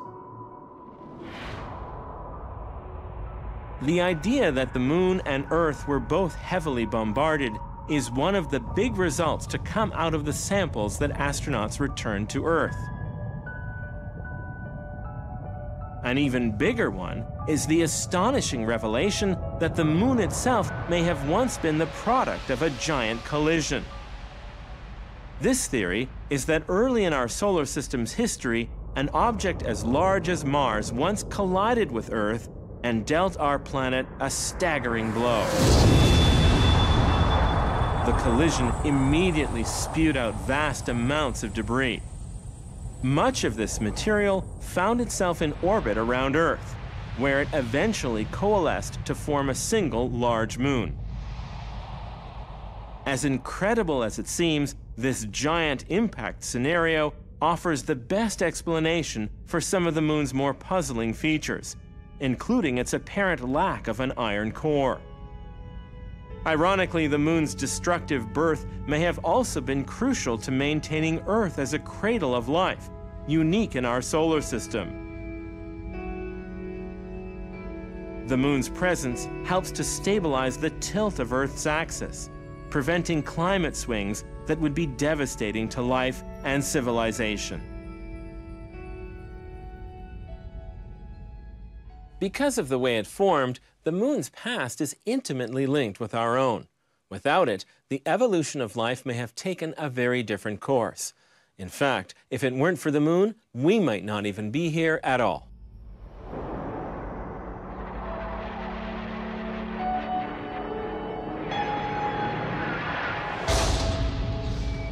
Houston, uh, Tranquility Base here. The Eagle has landed.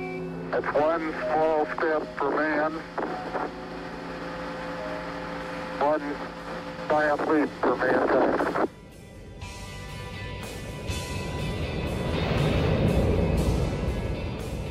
Exploring the moon has given us a remarkable window into the past. But the moon may also be our gateway to a long-term future in space. In the US, China, and elsewhere, efforts are now underway to return humans to the lunar surface. It is an ambitious goal, but it's also a stepping stone along the road to more distant destinations. Exactly where the next human mission will land is still an open question. But one thing is certain there is no shortage of interesting places on the moon where scientists would love to visit.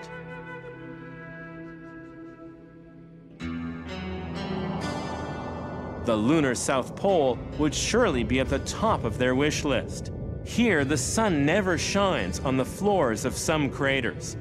Forever in shadow, these dark craters should be cold enough to trap water vapor and maybe even form lunar ice. Although the moon is dry, the water vapor could come from comets colliding with its surface. Scientists have now confirmed the presence of hydrogen in many south polar craters, strong evidence for the presence of ice. If there is enough ice, it could provide lunar explorers with much needed water. But finding and retrieving the ice will be a challenging task, as it would involve venturing into perpetually dark places. Today, the moon presents us with an intriguing and exciting destination in space, and a staging ground for even more daring explorations on Mars and beyond. Perhaps more than any other location in the solar system, it is the moon that tells us we live on just one world among many. And if we are determined enough, we can one day visit them all.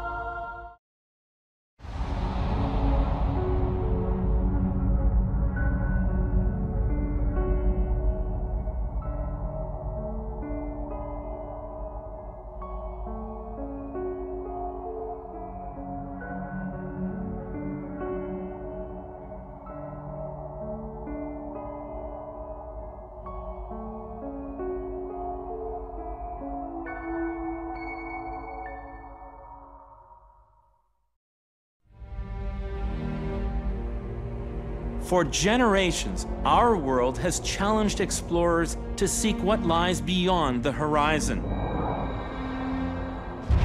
Now, the invention of spaceflight is leading us outward to explore a host of alien worlds with vast new territories.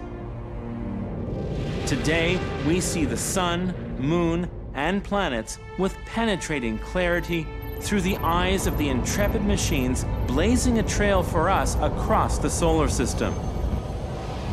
Their cameras have become our windows onto a bold new adventure. Their discoveries have become our cosmic vistas.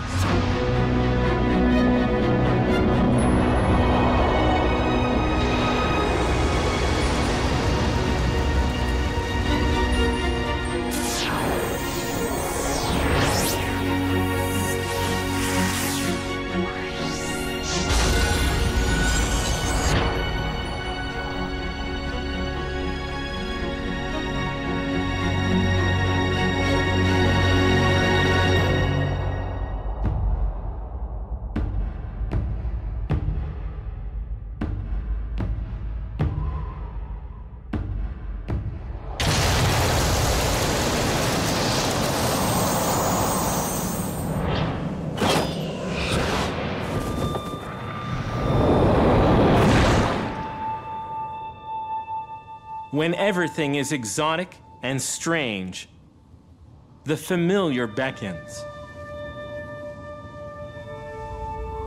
And when it comes to exploring the solar system, the familiar calls us to Mars.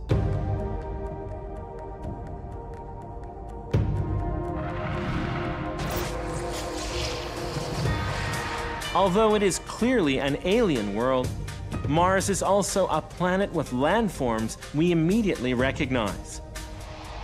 It is a world with deserts and dunes, cliffs and canyons.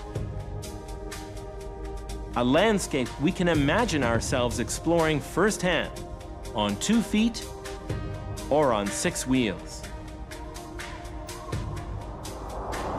But familiarity doesn't make Mars any easier to understand. After scrutinizing its landforms from orbit and sampling its soil and rocks from the surface, we have become better acquainted with Mars than any other planet in the solar system apart from our own. But our questions about its present state and complex history have only multiplied, including the biggest question of all Did life ever exist here? Mars is not like Earth, where life is abundant and obvious. It's also not like the Moon, where there's really no chance for life at all. Mars is somewhere in between, and so it can help us define where life can and cannot exist. When we journey to Mars, we journey to the borderland.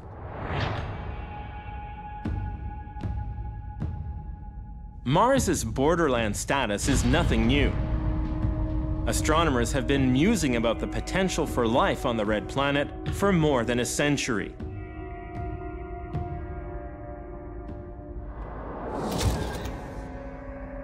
When the first grainy close-ups of Mars were radioed back in 1965, scientists were surprised and a little disappointed.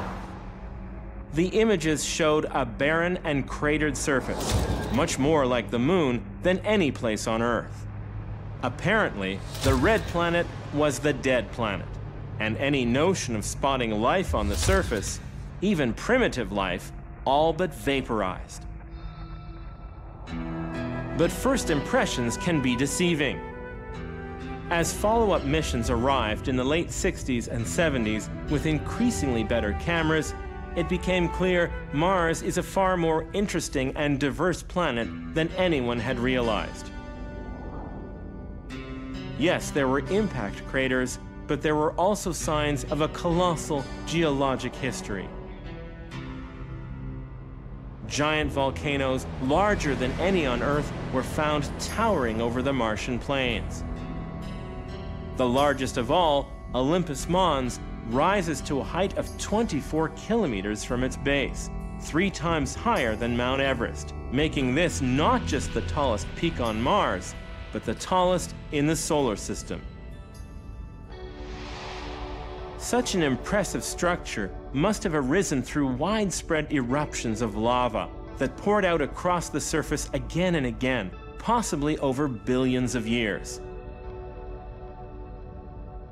Olympus Mons sits atop a giant bulge known as Tharsis that protrudes from Mars and makes it a distinctly lopsided planet.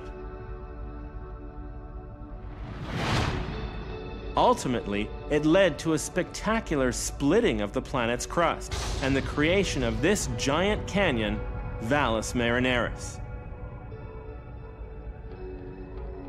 The proportions of Valles Marineris stagger the imagination. It is more than 10 times longer than Earth's Grand Canyon, and four times as deep.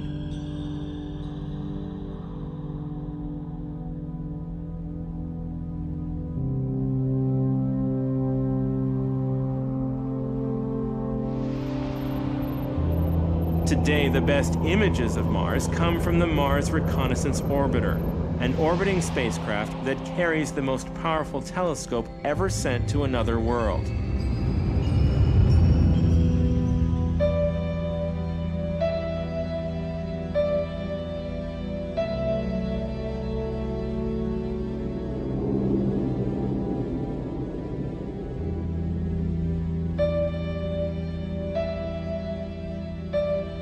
Capable of resolving details on the surface as small as a dinner plate, it has given us an unprecedented look at Mars in all its splendor.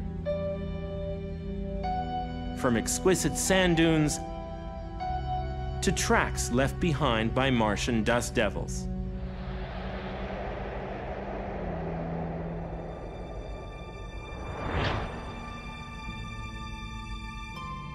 But perhaps the most interesting views are the ones that suggest water once flowed on Mars.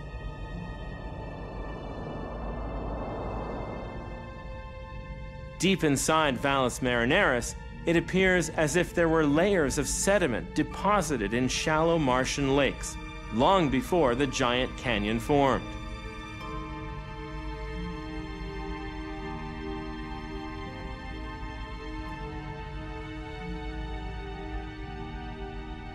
Even the shape and orientation of the terrain suggests water once flowed on Mars. These hints of a watery past grow much stronger as we cast our view beyond Valles Marineris to a series of large but empty channels leading away from the Tharsis Bulge toward the low-lying regions further north. Although they dried up long ago, these valleys must have been created by vast outflows of moving water that cut across the Martian landscape, spilling out into the northern plains.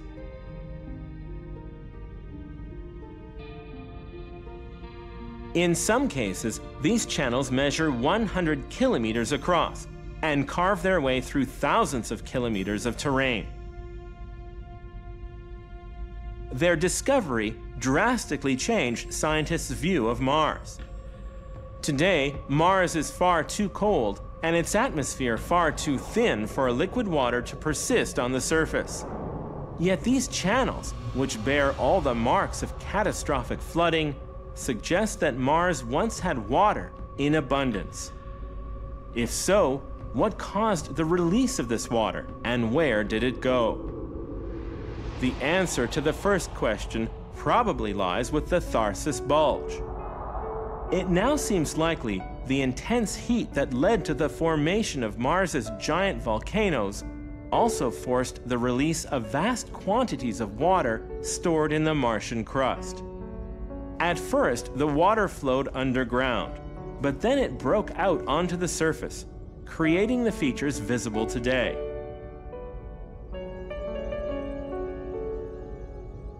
Across Mars, there are other signs that water may have flowed billions of years ago.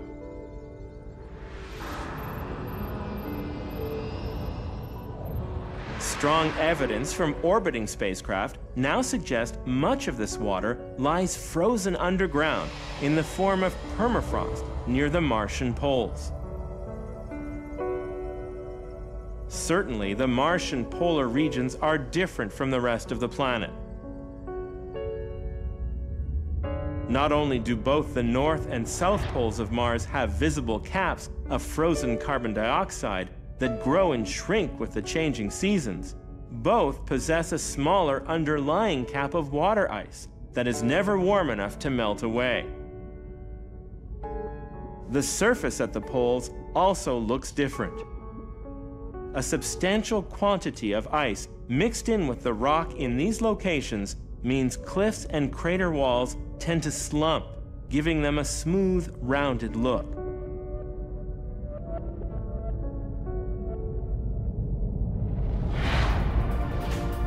One of the most exciting recent developments has been the discovery of small gullies running down the sides of craters and canyons all across Mars.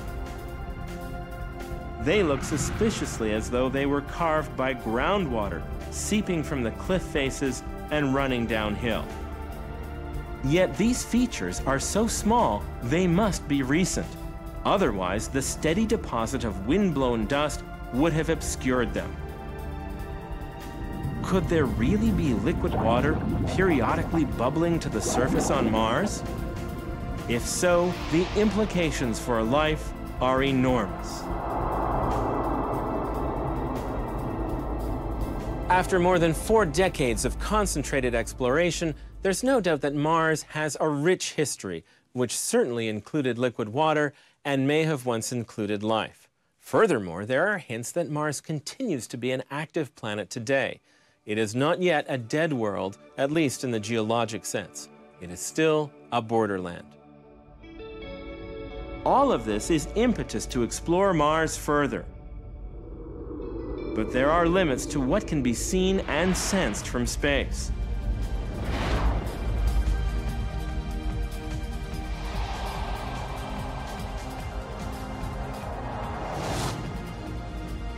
To answer the question of whether Mars is a living world, we must touch, taste, and smell it.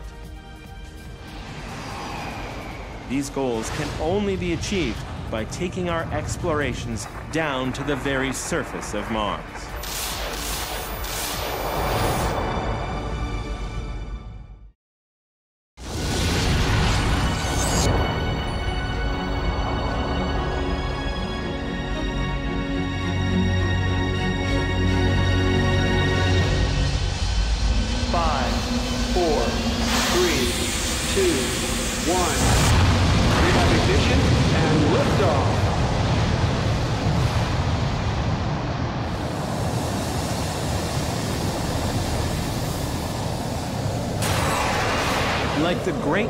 Voyages of discovery centuries ago, the journey to another world is fraught with danger. Atmospheric entry on my mark. And when it comes to landing on Mars, Five, four, three, two, one, mark. it is always the final moments Phoenix now 2 minutes and 25 seconds past the entry point. when the peril is great. 80 meters. 50 meters. Come on. Constant velocity phase detected. Altitude 40 meters. 30 meters. 27 meters. 20 meters. 50 meters. Standing by for touchdown. Touchdown signal detected. Landing it. Landing it sequence initiated. It is hard enough to design a machine that can land itself on Earth. But to do it on another planet, where humans have never set foot, where knowledge of changing conditions is scarce at best, to have no margin for error between a safe landing and total catastrophe, and to do it in a place that is so distant, even a simple call for help would take several minutes to reach Earth, that is a challenge indeed. But that is precisely what must be done to touch another world. So far, six landers have set down safely on Martian soil, and they have transformed our understanding of the planet as only first hand experience can. Scientifically, these missions were designed to discover the geologic history of Mars, but they also carry a powerful implication about the future.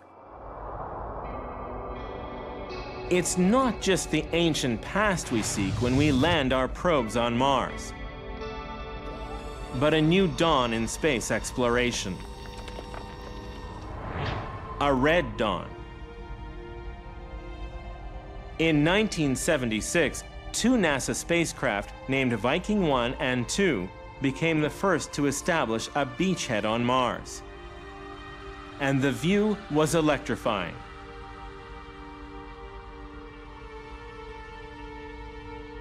Geologists were immediately reminded of deserts they had visited on Earth.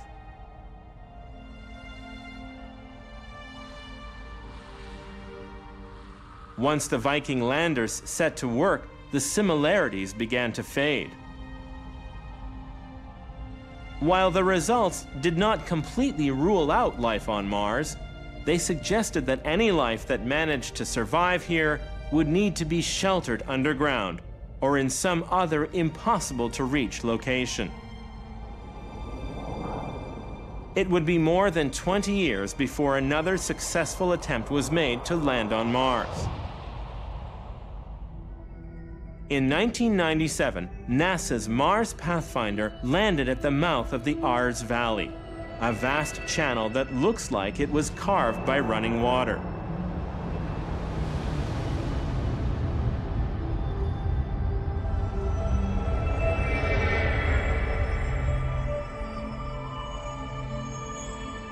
The landing site was surrounded by broken and tumbled rock. Boulders were slanted in a downstream direction. All signs of an ancient and violent flood.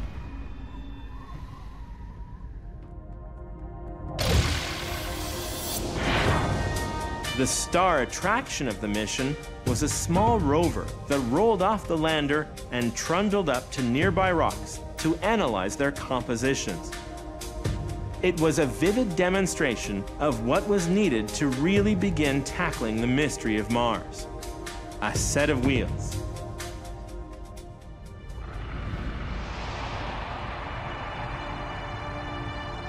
In early 2004, two rovers named Spirit and Opportunity landed safely on opposite sides of Mars. Each embarked on its own motorized trek across the red planet's surface.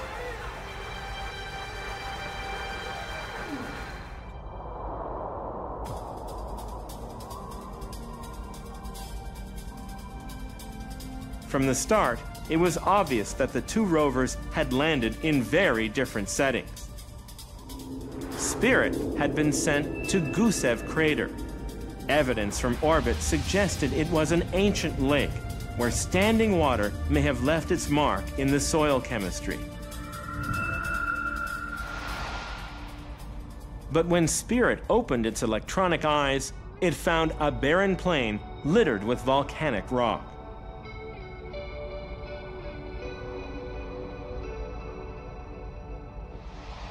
Meanwhile, Opportunity scored an early triumph. It was sent to Meridiani Planum, where remote sensing had spotted hematite, an iron rich mineral that on Earth is often associated with water.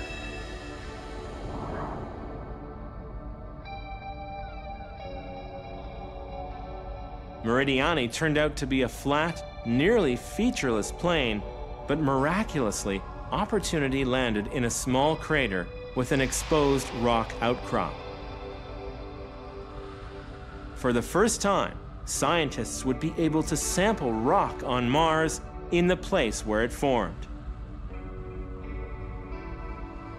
What Opportunity found after wheeling up to the outcrop exceeded everyone's wildest expectations.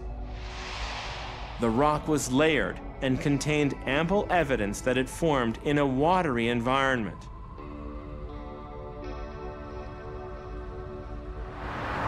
It also contained hematite in the form of tiny spheres, nicknamed blueberries, which grew by precipitating out of water and were later exposed as the rock weathered away.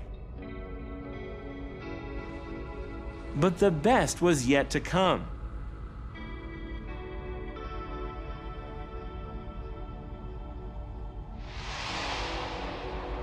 Back on Gusev Crater, after investigating the terrain near the landing site, scientists sent Spirit rolling towards a set of distant hills nearly four kilometers away. It would take three months to reach the hills and many more to climb them. But eventually, Spirit reached the top and radioed back a sweeping panorama.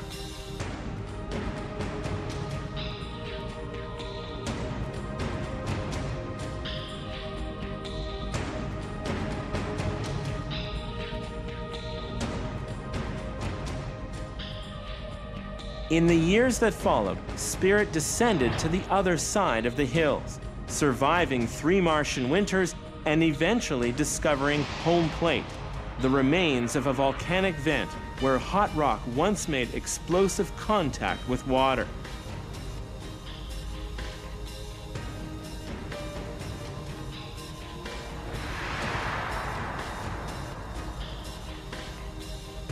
Things were also going well at Meridiani. Once Opportunity set out across the plains, it discovered an even larger rock outcrop, whose layers read like a geologic history book.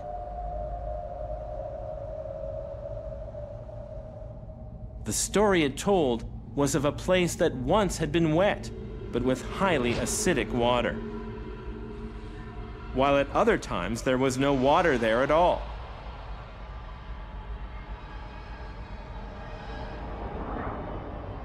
After nearly two years more of roving, Opportunity arrived at the edge of Victoria Crater and recorded one of the most spectacular vistas in the history of Mars exploration.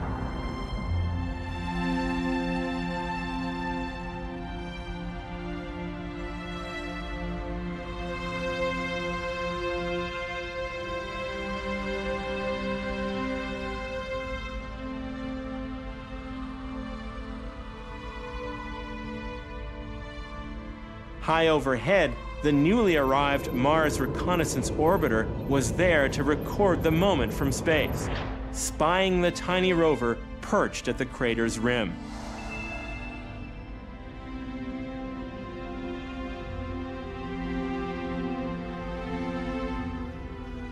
The journey of the Mars rovers has been a scientific adventure unlike any so far in our exploration of the Red Planet.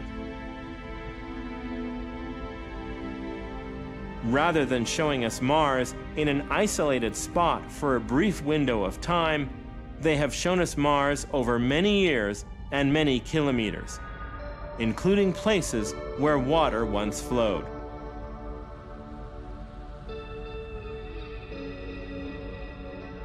Next, scientists wanted to know about the state of water on Mars today. Compared to the Mars rovers, the Phoenix lander was a modest mission, but with an ambitious goal to become the first spacecraft to touch water on Mars. Scientists expected to find that water locked in a frozen state just below the surface of Mars's polar regions. Here, the landscape is dominated by low mounds with trough-like boundaries. These mounds are caused by the expansion of ground ice, forcing the soil upward. After a bit of digging with its robot arm, Phoenix exposed something white just centimeters below the surface. It was ice, the first direct link to a watery past on Mars. Phoenix landed in the low-lying northern plains of Mars, an area that may once have been a Martian ocean. Although Phoenix could not confirm this, it found the soil here is alkaline, similar to what might be found in seawater on Earth.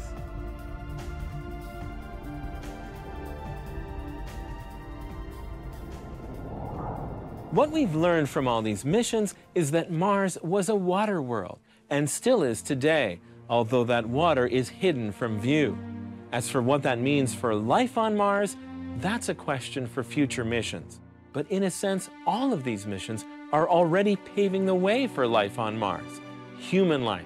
The landers and rovers we build could be the leading edge of a new wave of exploration that might one day take astronauts to the red planet. If so, the human story on Mars has already dawned.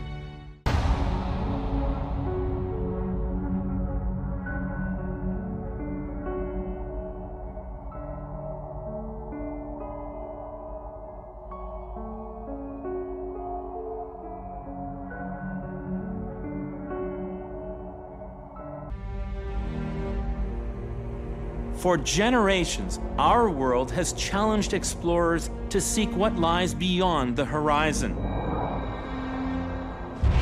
Now, the invention of spaceflight is leading us outward to explore a host of alien worlds with vast new territories. Today, we see the sun, moon, and planets with penetrating clarity through the eyes of the intrepid machines blazing a trail for us across the solar system. Their cameras have become our windows onto a bold new adventure. Their discoveries have become our cosmic vistas.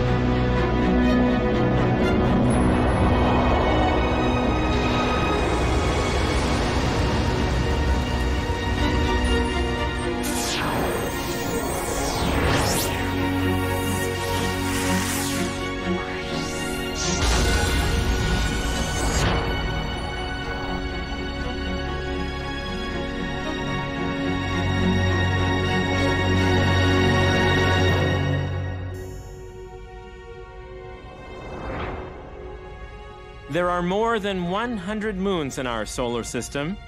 The vast majority of them orbit the two largest planets, Jupiter and Saturn.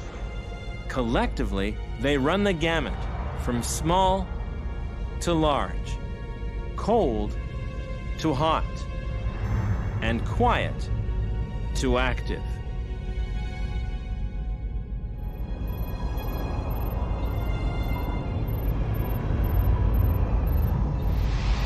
Could it be that somewhere in that range of possibilities, we will find a hidden haven for alien life?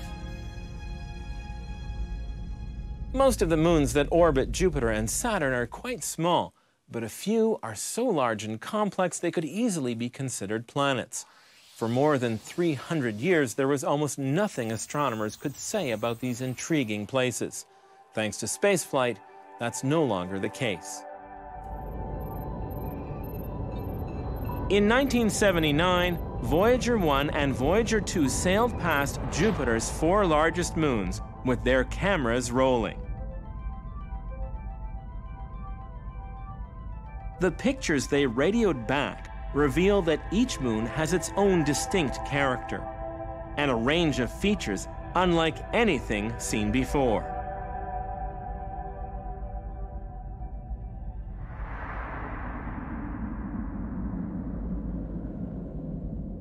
The biggest surprise of all was Io, the innermost of the four moons. Its rocky surface is a mottled and sulfurous mess. Unlike our moon, there are no craters on Io. It's as though they are being erased by some mysterious agent.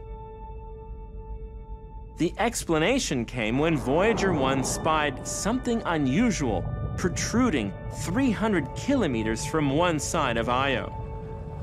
It was a fountain of ash spewing from a large volcano. Since that discovery, it's now become clear Io is the most geologically active world in the solar system.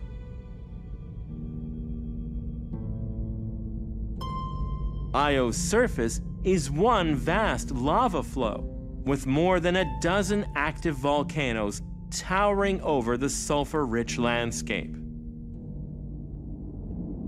The gravitational pull of Jupiter and some of its other large moons creates a tug of war inside Io, which generates vast amounts of heat. While this makes for a dynamic surface, it is not particularly hospitable to life.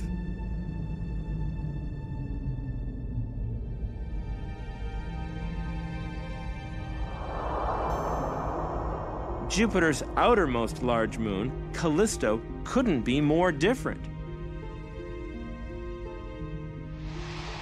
Callisto's battered face is saturated with ancient impact craters, suggesting not much has happened here since Callisto formed.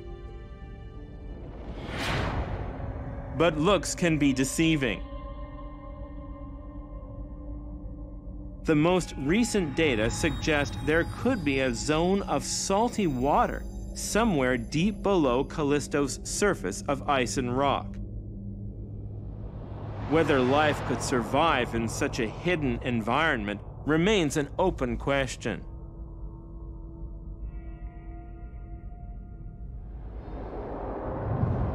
Meanwhile, on Ganymede, we find more obvious signs of a geologically active past. Ganymede is the largest moon in our solar system and one of the strangest looking. Part of its surface is as old as Callisto's, dark and heavily cratered.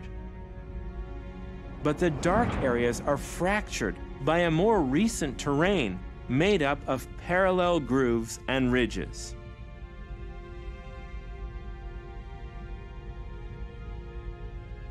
Exactly how these grooves and ridges formed is still a big mystery. It is clear Ganymede has a warmer interior than Callisto. In the past, that warmth may have risen up through Ganymede's interior and forced sections of its surface to drift apart, just like the continents on Earth.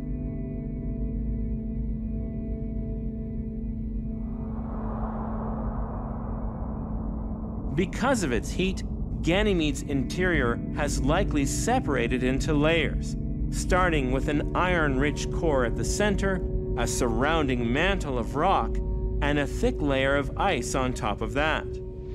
As with Callisto, there is evidence on Ganymede for an ocean of salt water somewhere below the surface. This is exciting news because the right combination of heat and water may provide the conditions necessary for life on Ganymede. Such life forms would be cut off from the sun and the surface environment. But like the creatures that live around deep sea vents in Earth's oceans, it might survive on chemical energy. This tantalizing possibility won't be tested anytime soon. If Ganymede has an ocean, it's at least 200 kilometers below its frozen surface.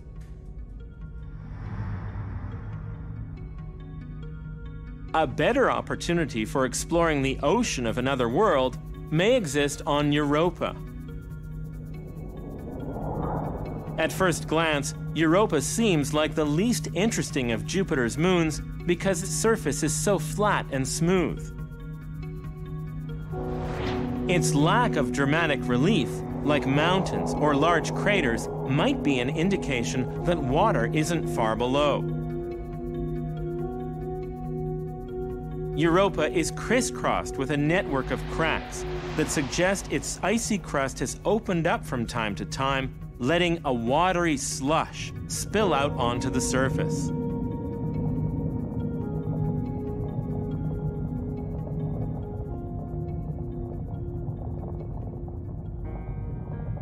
In one area, scientists have found what appear to be icebergs that cracked and floated apart like rafts before the surface refroze. Some of the cracks on Europa have a darker and more reddish hue than the rest of the surface ice. This could mean that the underlying ocean is rich in sulfur compounds and perhaps organic molecules. Indications are that in some places, this ocean may be less than 10 kilometers from the surface, possibly within reach of a future attempt to drill down and explore the marine environment of another world. Today, Europa's ocean is high on the list of locations where scientists are eager to search for alien life.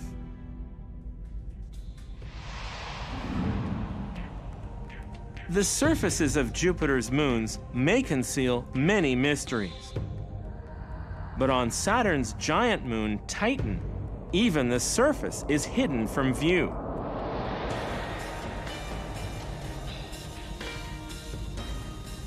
Titan is the only moon in our solar system with a substantial atmosphere, and it shows.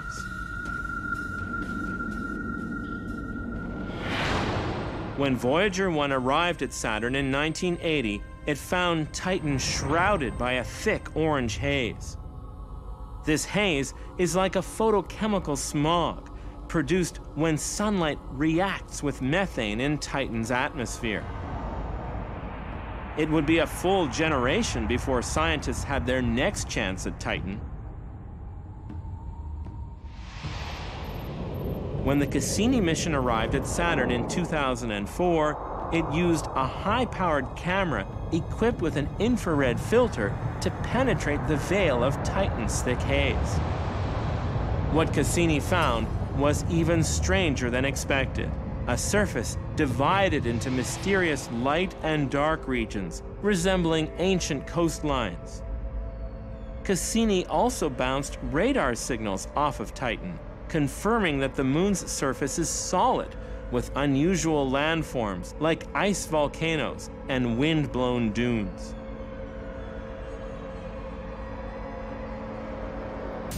After several more passes of Titan, Cassini's radar made an even more exciting discovery. A series of dark patches that were perfectly flat, resembling the surfaces of small lakes. Scientists were eager for more direct evidence of potential fluid flow on Titan. They found it in dramatic fashion when Cassini dropped a probe into Titan's cloudy atmosphere. After the probe deployed its parachute and slowly descended, it radioed pictures back to Cassini. As soon as the probe emerged from the clouds, it began to see exciting details that looked suspiciously like they had been carved by a flowing liquid. Then, to everyone's surprise, the probe survived its impact and sent back one final spectacular image.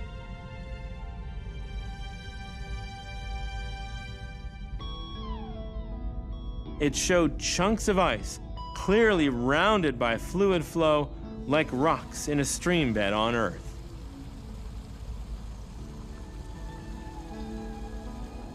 On Titan, it's so cold that water is like rock. But methane, which is a gas here on Earth, can rain down from Titan's atmosphere and flow as a liquid over the surface. Methane is a building block for the kinds of complex molecules that led to the emergence of life on Earth. And that means if Titan has an internal heat source, like some of Jupiter's moons, it could also be harboring its own ecosystem deep below the surface.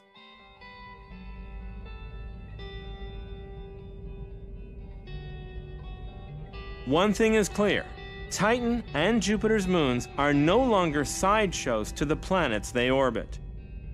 Together, they have become the main motivators in our exploration of the outer solar system.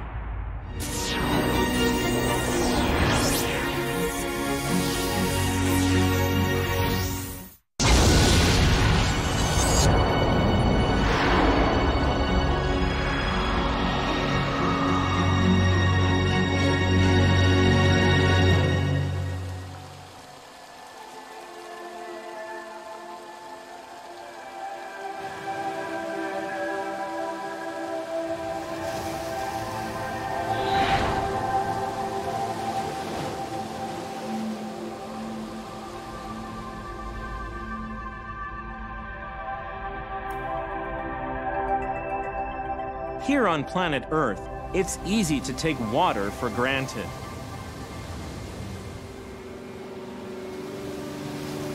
Water covers 70% of Earth's surface, and its presence is essential for life as we know it.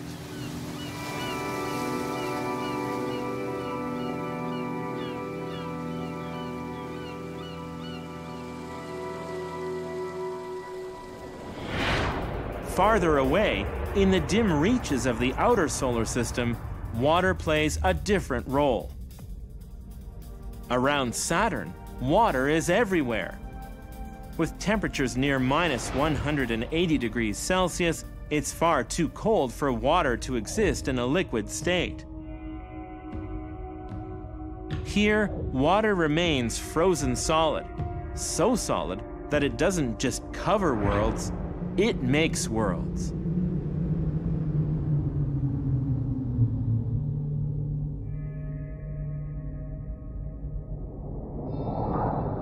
When we get to Saturn, we discover ice is the main ingredient in building moons.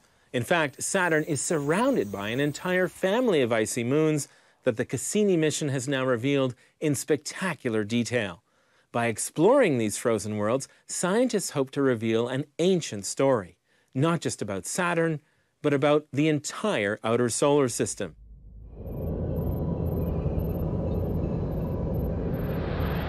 This is certainly the case with Phoebe, the first of Saturn's moons that Cassini encountered up close. Just 200 kilometers across, Phoebe is too small and its gravity too weak to pull itself into a sphere. When Cassini sailed past Phoebe, it found a surface rich in carbon, with deep craters exposing layers of bright white ice lying just below. Overall, Phoebe is darker and contains more rock than Saturn's other icy moons. This suggests it did not form near Saturn, but in the Kuiper Belt, beyond Neptune. The objects inhabiting this zone are ancient, the original building blocks of the outer solar system. It now appears Phoebe is an escapee from that region and only later captured by Saturn and turned into a moon. This moon is giving us a sneak preview of what we'll find at much further distances from the Sun. Four times closer to Saturn and four times larger than Phoebe, Iapetus is a very different kind of moon. It is 80% ice, but its most distinctive feature is its strange two-tone shading.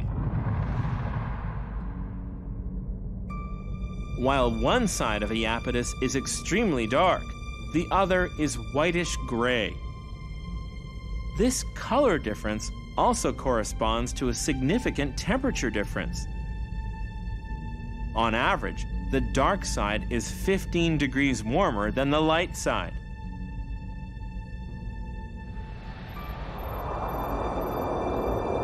Scientists now suspect that dark material, possibly blasted from the surface of Phoebe, may have fallen down onto Iapetus long ago. The side that received the dust absorbed more of the sun's energy and the ice there began to sublimate, leaving behind grains of dust and rock that would darken the surface even further. Meanwhile, the vaporized ice resettled onto the other side of Iapetus and around its poles, creating the look it has today.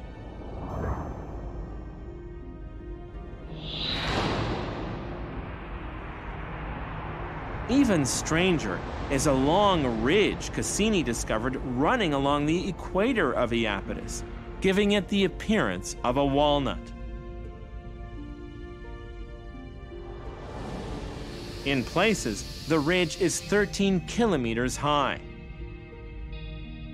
The forces that created this bizarre feature are not well understood, but it likely happened when Iapetus was spinning more rapidly than it is now and had more internal heat shaping its surface. Moving even closer towards Saturn, we find Hyperion, a misshapen object with a strange honeycombed surface. Hyperion is so irregular in shape and appearance, it is probably just a fragment from a larger moon that was destroyed in a collision. It may not even be solid, but a loosely packed pile of rubble.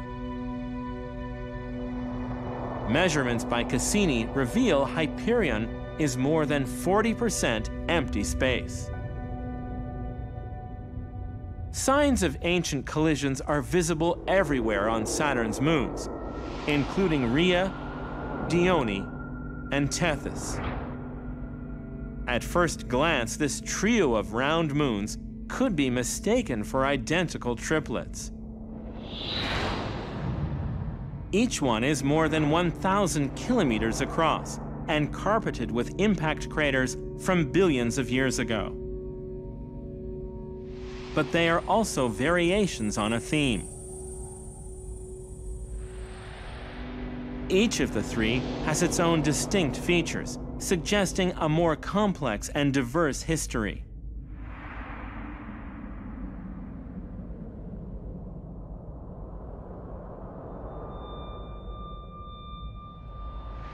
For example, this giant canyon called Ithaca Chasma wraps around Tethys like a waistband. It may have formed long ago when the icy interior of Tethys froze and expanded, forcing its crust to stretch apart at the seams. Looking at Dione from afar, scientists long wondered about a series of wispy white lines running across its surface. Now Cassini has revealed the lines are the bright faces of steep cliffs formed when Dione was repeatedly fractured by internal forces. But the biggest surprise came from Rhea.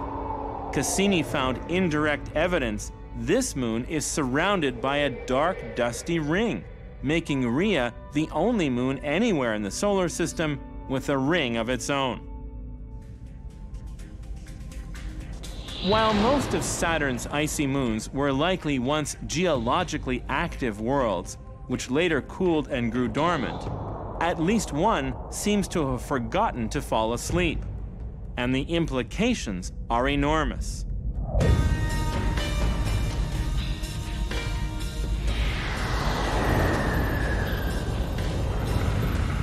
Enceladus is only 500 kilometers across. Under ordinary circumstances, an object of this size should be too small to retain heat for billions of years. But Enceladus is nowhere near ordinary. Here, Cassini spotted vast geysers of water vapor shooting outward from a region near its south pole. The vapor carries fine grains of dust, which escape into space and form a diffuse ring along Enceladus's orbital path around Saturn.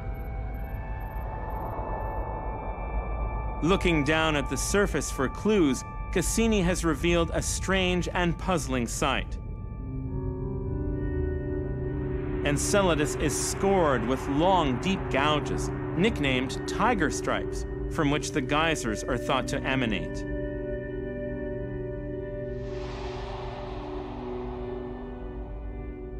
The stripes are surrounded by fresh ice, which suggests that somewhere below the surface, temperatures are high enough to melt ice and hold liquid water under pressure before venting it into space like a tea kettle. No one yet knows exactly how Enceladus does this. One important clue from Cassini is that Enceladus has more rock and metal than many other of Saturn's moons, and so perhaps it is being warmed by a combination of radioactive heating from within and strong tides produced by Saturn and its other moons. Even more exciting is the presence of organic molecules near the tiger stripes. When this is combined with the likelihood of liquid water, it appears Enceladus may have all the ingredients necessary for life. For a tiny moon at the leading edge of the icy solar system, this is an astonishing revelation. To call the icy moons of Saturn strange is an understatement. These odd little worlds are utterly unlike Earth. But understanding how they formed and evolved is an important goal for scientists. Why? Because if there are so many icy moons in our solar system, there must be countless others out there among the stars.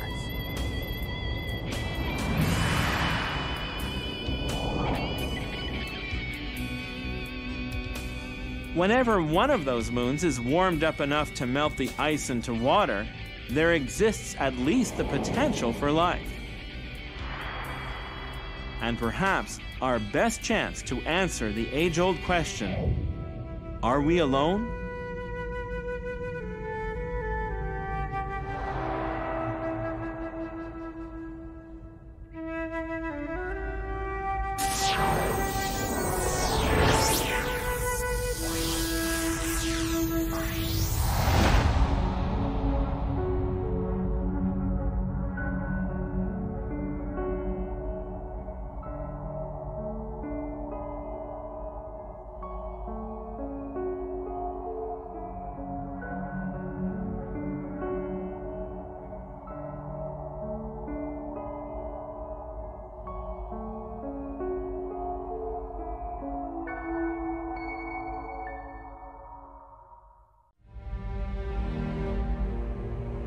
For generations, our world has challenged explorers to seek what lies beyond the horizon.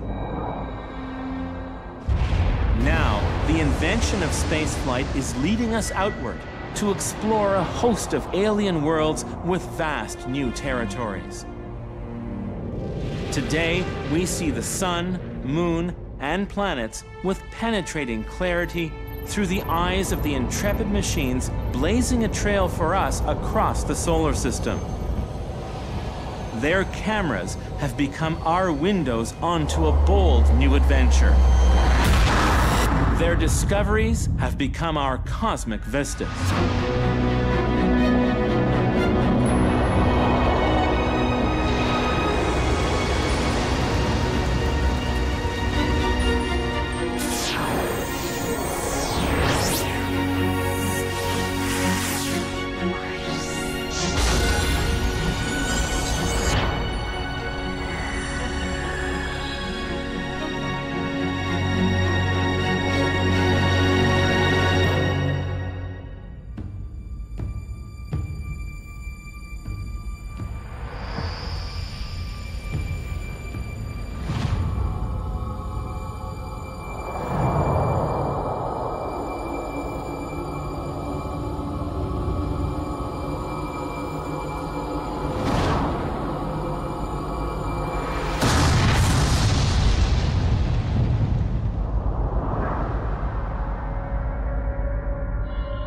In our solar system, gravity is destiny.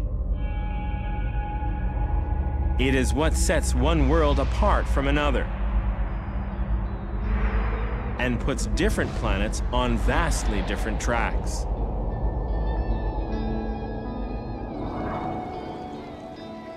This fundamental truth begins with the sun, a giant blazing ball of hydrogen gas. The sun keeps shining because the force of gravity squeezes the matter in its core together until it is hot enough to generate nuclear reactions.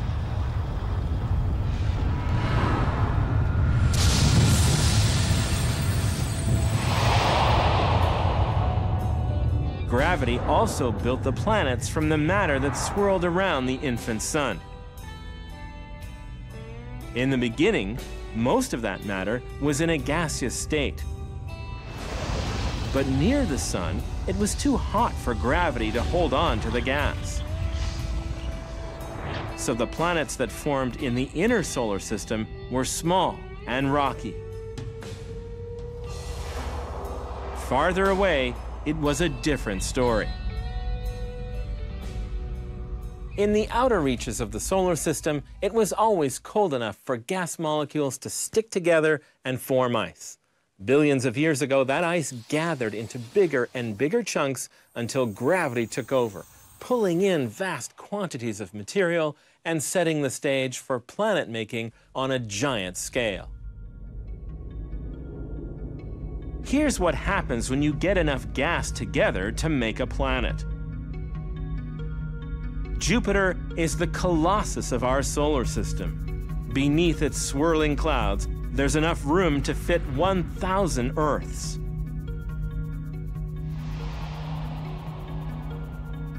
Jupiter is big, too big to be a solid body. Instead, its interior is mostly liquid hydrogen the lightest element in the universe. This hydrogen ocean is well hidden beneath Jupiter's turbulent clouds. Because Jupiter is liquid, it can spin on its axis at high speed, much faster than Earth. One day on this mammoth world lasts only 10 and a half hours. This fast spin generates high-speed winds in Jupiter's atmosphere, giving the planet a striped appearance.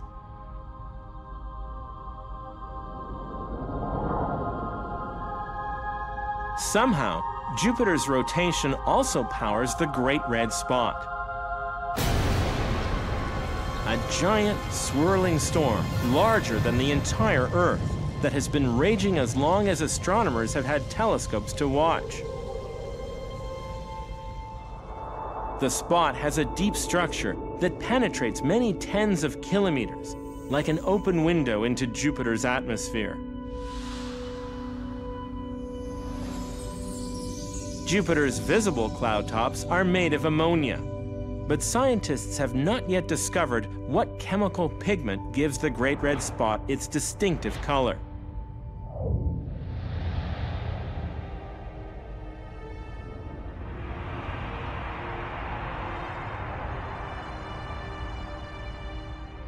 Other storms come and go on Jupiter.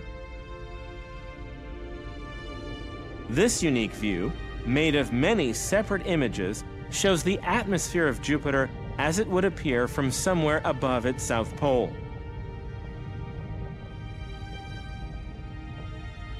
Over time, the spots move and sometimes collide like giant ships on a stormy sea.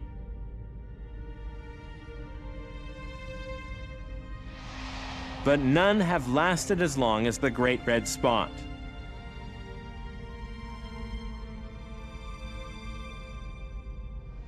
The poles of Jupiter are also where we find intense aurora caused by solar particles trapped in Jupiter's powerful magnetic field. Like giant-sized versions of the northern lights on Earth, they glow brightly in ultraviolet light.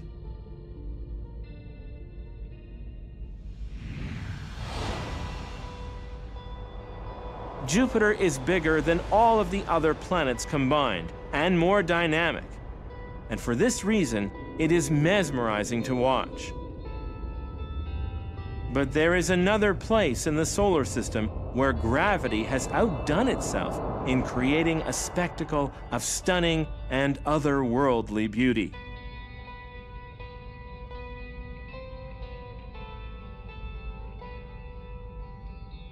Centuries ago, astronomers were enchanted by the discovery that Saturn, the most distant planet that was known to the ancients, is encircled by what appears to be a set of narrowly divided rings. And as telescopes grew in power, so did the grace and grandeur of Saturn's rings.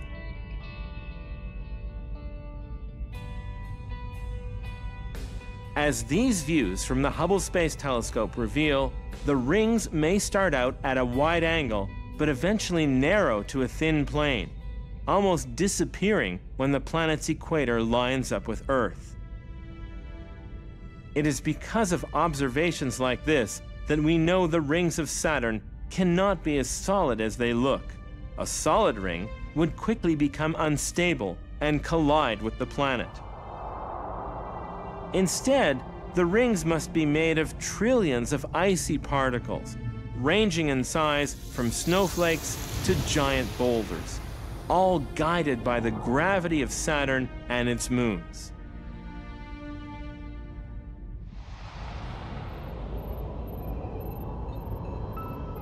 In 2004, scientists were given their best chance to learn the secrets of Saturn's rings when the Cassini spacecraft made a close pass of the rings before putting itself in orbit around the planet.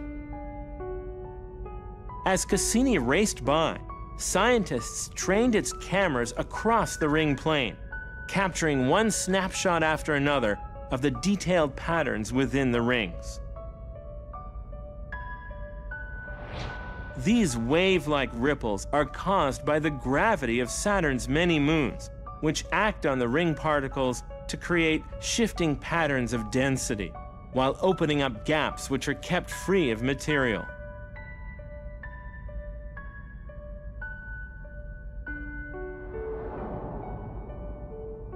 In some cases, these gaps are patrolled by small moons, which shift the particles with their gravity and give the rings their sharply sculpted boundaries.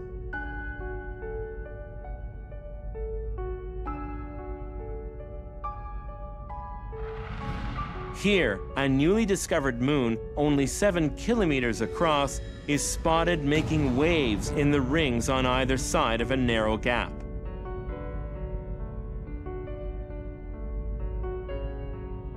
Cassini has also studied the elaborate pattern of kinks in Saturn's narrow F ring.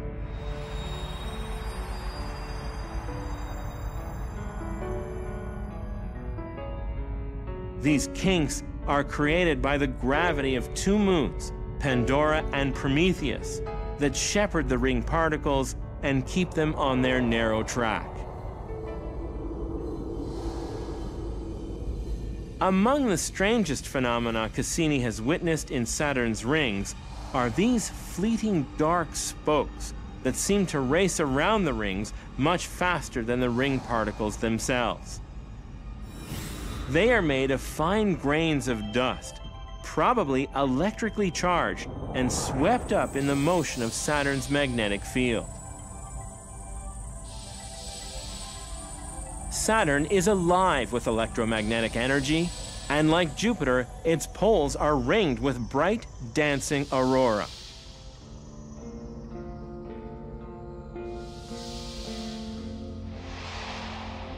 But in other respects, Saturn's polar regions look very different than Jupiter's. Here, Cassini gives us our best view yet of a strange hexagon centered on the planet's south pole. The hexagon is made of clouds and shaped by fierce winds, but the origin of its unique geometry remains a mystery. Cassini has revealed Saturn so beautifully that it is now one of the best imaged planets in our solar system, despite its great distance from Earth. Yet with each new image, Saturn continues to surprise and amaze us. This remarkable image shows us Saturn eclipsing the Sun, a view we cannot see from Earth. It is a heavenly image, even a poetic one, made even more touching by one other tiny detail. Buried in the rings, far off in the background, is a small bluish speck.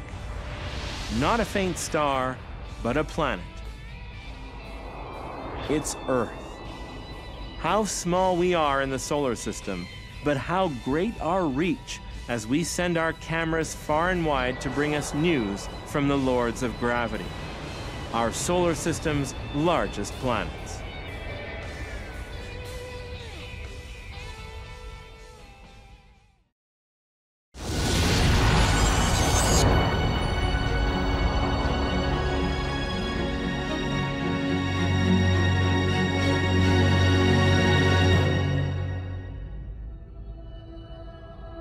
Saturn.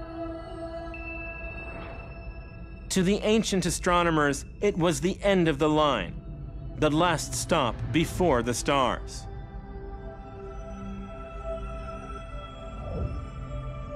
It turns out Saturn is merely the farthest planet the human eye can see. It's far, but it's not where the solar system ends. Once the telescope was invented, we discovered there was a lot more to our solar system than meets the eye. There's Uranus, Neptune, and the weird case of a planet that's not really a planet, Pluto. But even through the most powerful telescopes, these worlds remained remote and mysterious. To probe the solar system's real outer limits, you need a spacecraft.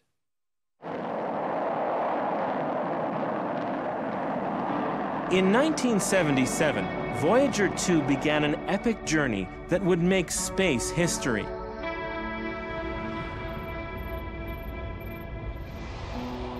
To date, it is the only spacecraft to visit planets beyond Saturn, starting with Uranus in 1986. Uranus's most obvious feature is its striking aquamarine color. This is the result of a methane atmosphere. Methane absorbs light from the red part of the spectrum, while blue light is reflected back into space. But while Uranus is unlike any planet closer to the Sun, it is not unique in the solar system.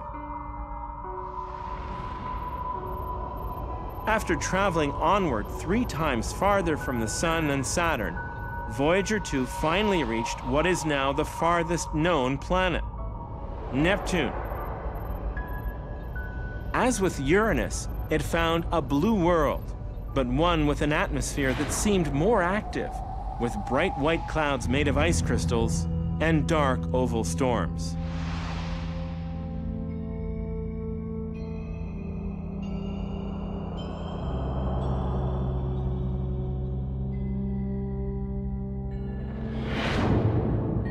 Compared to Jupiter, Uranus and Neptune are small, not nearly large enough to be big balls of liquid hydrogen and helium. On the other hand, they are still far larger than Earth, too large to be solid, rocky planets like our own. So Uranus and Neptune are fluid worlds, but they are mainly made of gases that freeze at low temperature, including water, methane, and ammonia. For this reason, they are called ice giants. Although you don't see any ice when you look at these planets, they must have formed from countless icy fragments that once filled the outer reaches of the solar system.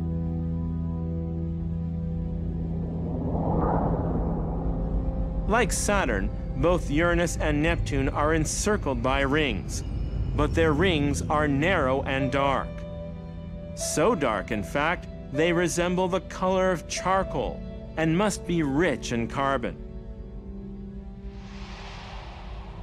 They may be the last remnants of small moons that were disrupted by gravity and pulverized into tiny fragments. The rings are just one element in a story that suggests this quiet and dark outer region of the solar system was once witness to scenes of great violence. Uranus, for example, is nearly tilted on its side. Instead of spinning like a top, it rolls like a bowling ball, first pointing one pole and then the other almost directly at the sun. Its rings and moons are oriented the same way, giving Uranus the appearance of a giant bullseye in space. This peculiar tilt was almost certainly the result of a giant collision long ago in the planet's history, perhaps near the time it was forming. Other signs of past collisions can be found on Uranus's bizarre icy moon, Miranda, which looks like it's been blasted apart and put together again the wrong way. Its craggy cliffs are among the highest in the solar system.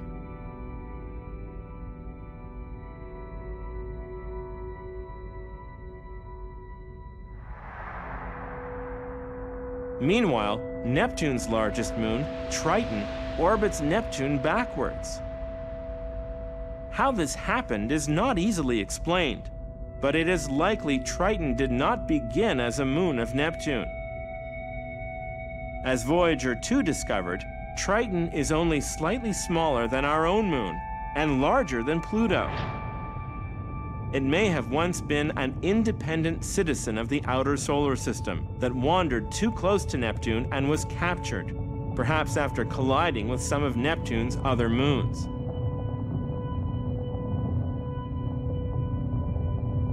Today, Triton's icy surface is crisscrossed with markings that hint at a geologically active past.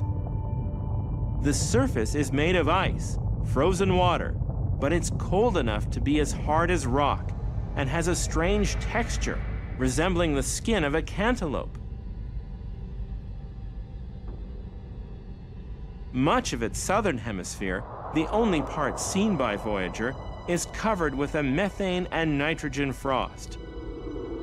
Dark streaks on the ice are probably the sooty residue from gas geysers breaking through the icy surface. The streaks are parallel, suggesting that winds blow fast in Triton's thin atmosphere. If Triton was captured by Neptune, then it is our first opportunity to see up close an entirely new class of objects.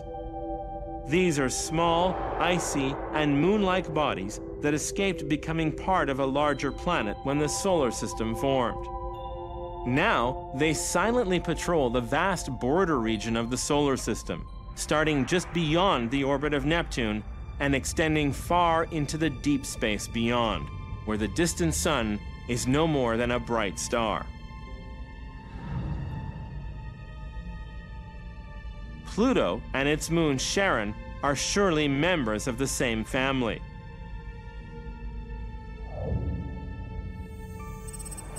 When it was first discovered, Pluto was hailed as the ninth planet.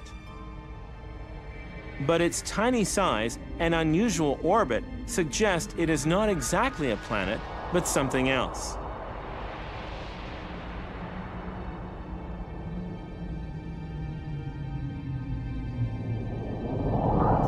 In recent years, many more objects have been spotted at a similar distance, including Eris, found in 2003.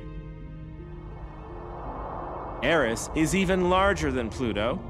Rather than making it the 10th planet and potentially adding many more to the list, astronomers demoted Pluto instead. Now Pluto and Eris are grouped with similar objects in a newly created category, dwarf planet. The region where Pluto, Eris, and other dwarf planets live is known as the Kuiper Belt. As many as 70,000 separate objects larger than 100 kilometers may ultimately be found here. And they are clearly not all alike. For example, the Kuiper Belt object known as Sedna is redder than Mars. Its color may be due to chemical changes that occurred during billions of years of cosmic rays striking organic molecules trapped in Sedna's icy surface.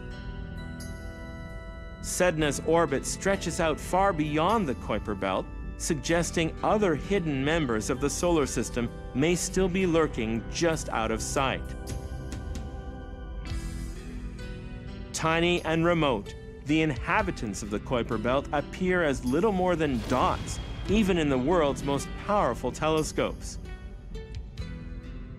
Yet these objects are among the most interesting to scientists because they can tell us a story about the early days of our solar system when the giant planets were still forming out of icy building blocks like these. In 2006, to satisfy our curiosity about these most distant members of the planetary family, NASA launched New Horizons. No spacecraft has ever traveled so far to meet its primary objective, and the journey has only just begun. Now, New Horizons is well on its way to the outer limits and is scheduled to reach Pluto in 2015. When it arrives, it will be moving too fast to be captured in orbit.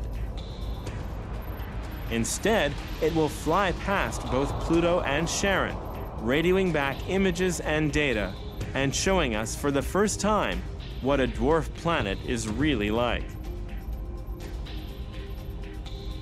At its closest, New Horizons will see details as small as 50 meters across on Pluto's icy surface and look for signs of past geologic activity. After Pluto, New Horizons will move on to other targets in the Kuiper Belt, including some which may not have even been discovered yet. If it succeeds, scientists hope the most distant and mysterious region of our solar system will finally seem a little more familiar. When New Horizons finally shows us Pluto, it will mark the end of an era. Pluto is no longer officially called a planet, but it represents the last type of solar system object that we have yet to see up close. Without Pluto, our story of the solar system and its history is missing an important chapter. New Horizons will write that chapter, and for the first time, give us a glimpse of the entire book the whole solar system in all its diversity, from the blazing sun to the dark depths of the Kuiper Belt. Somewhere in that book is the story not just of rock, gas, and ice, but the story of chemical complexity and life itself.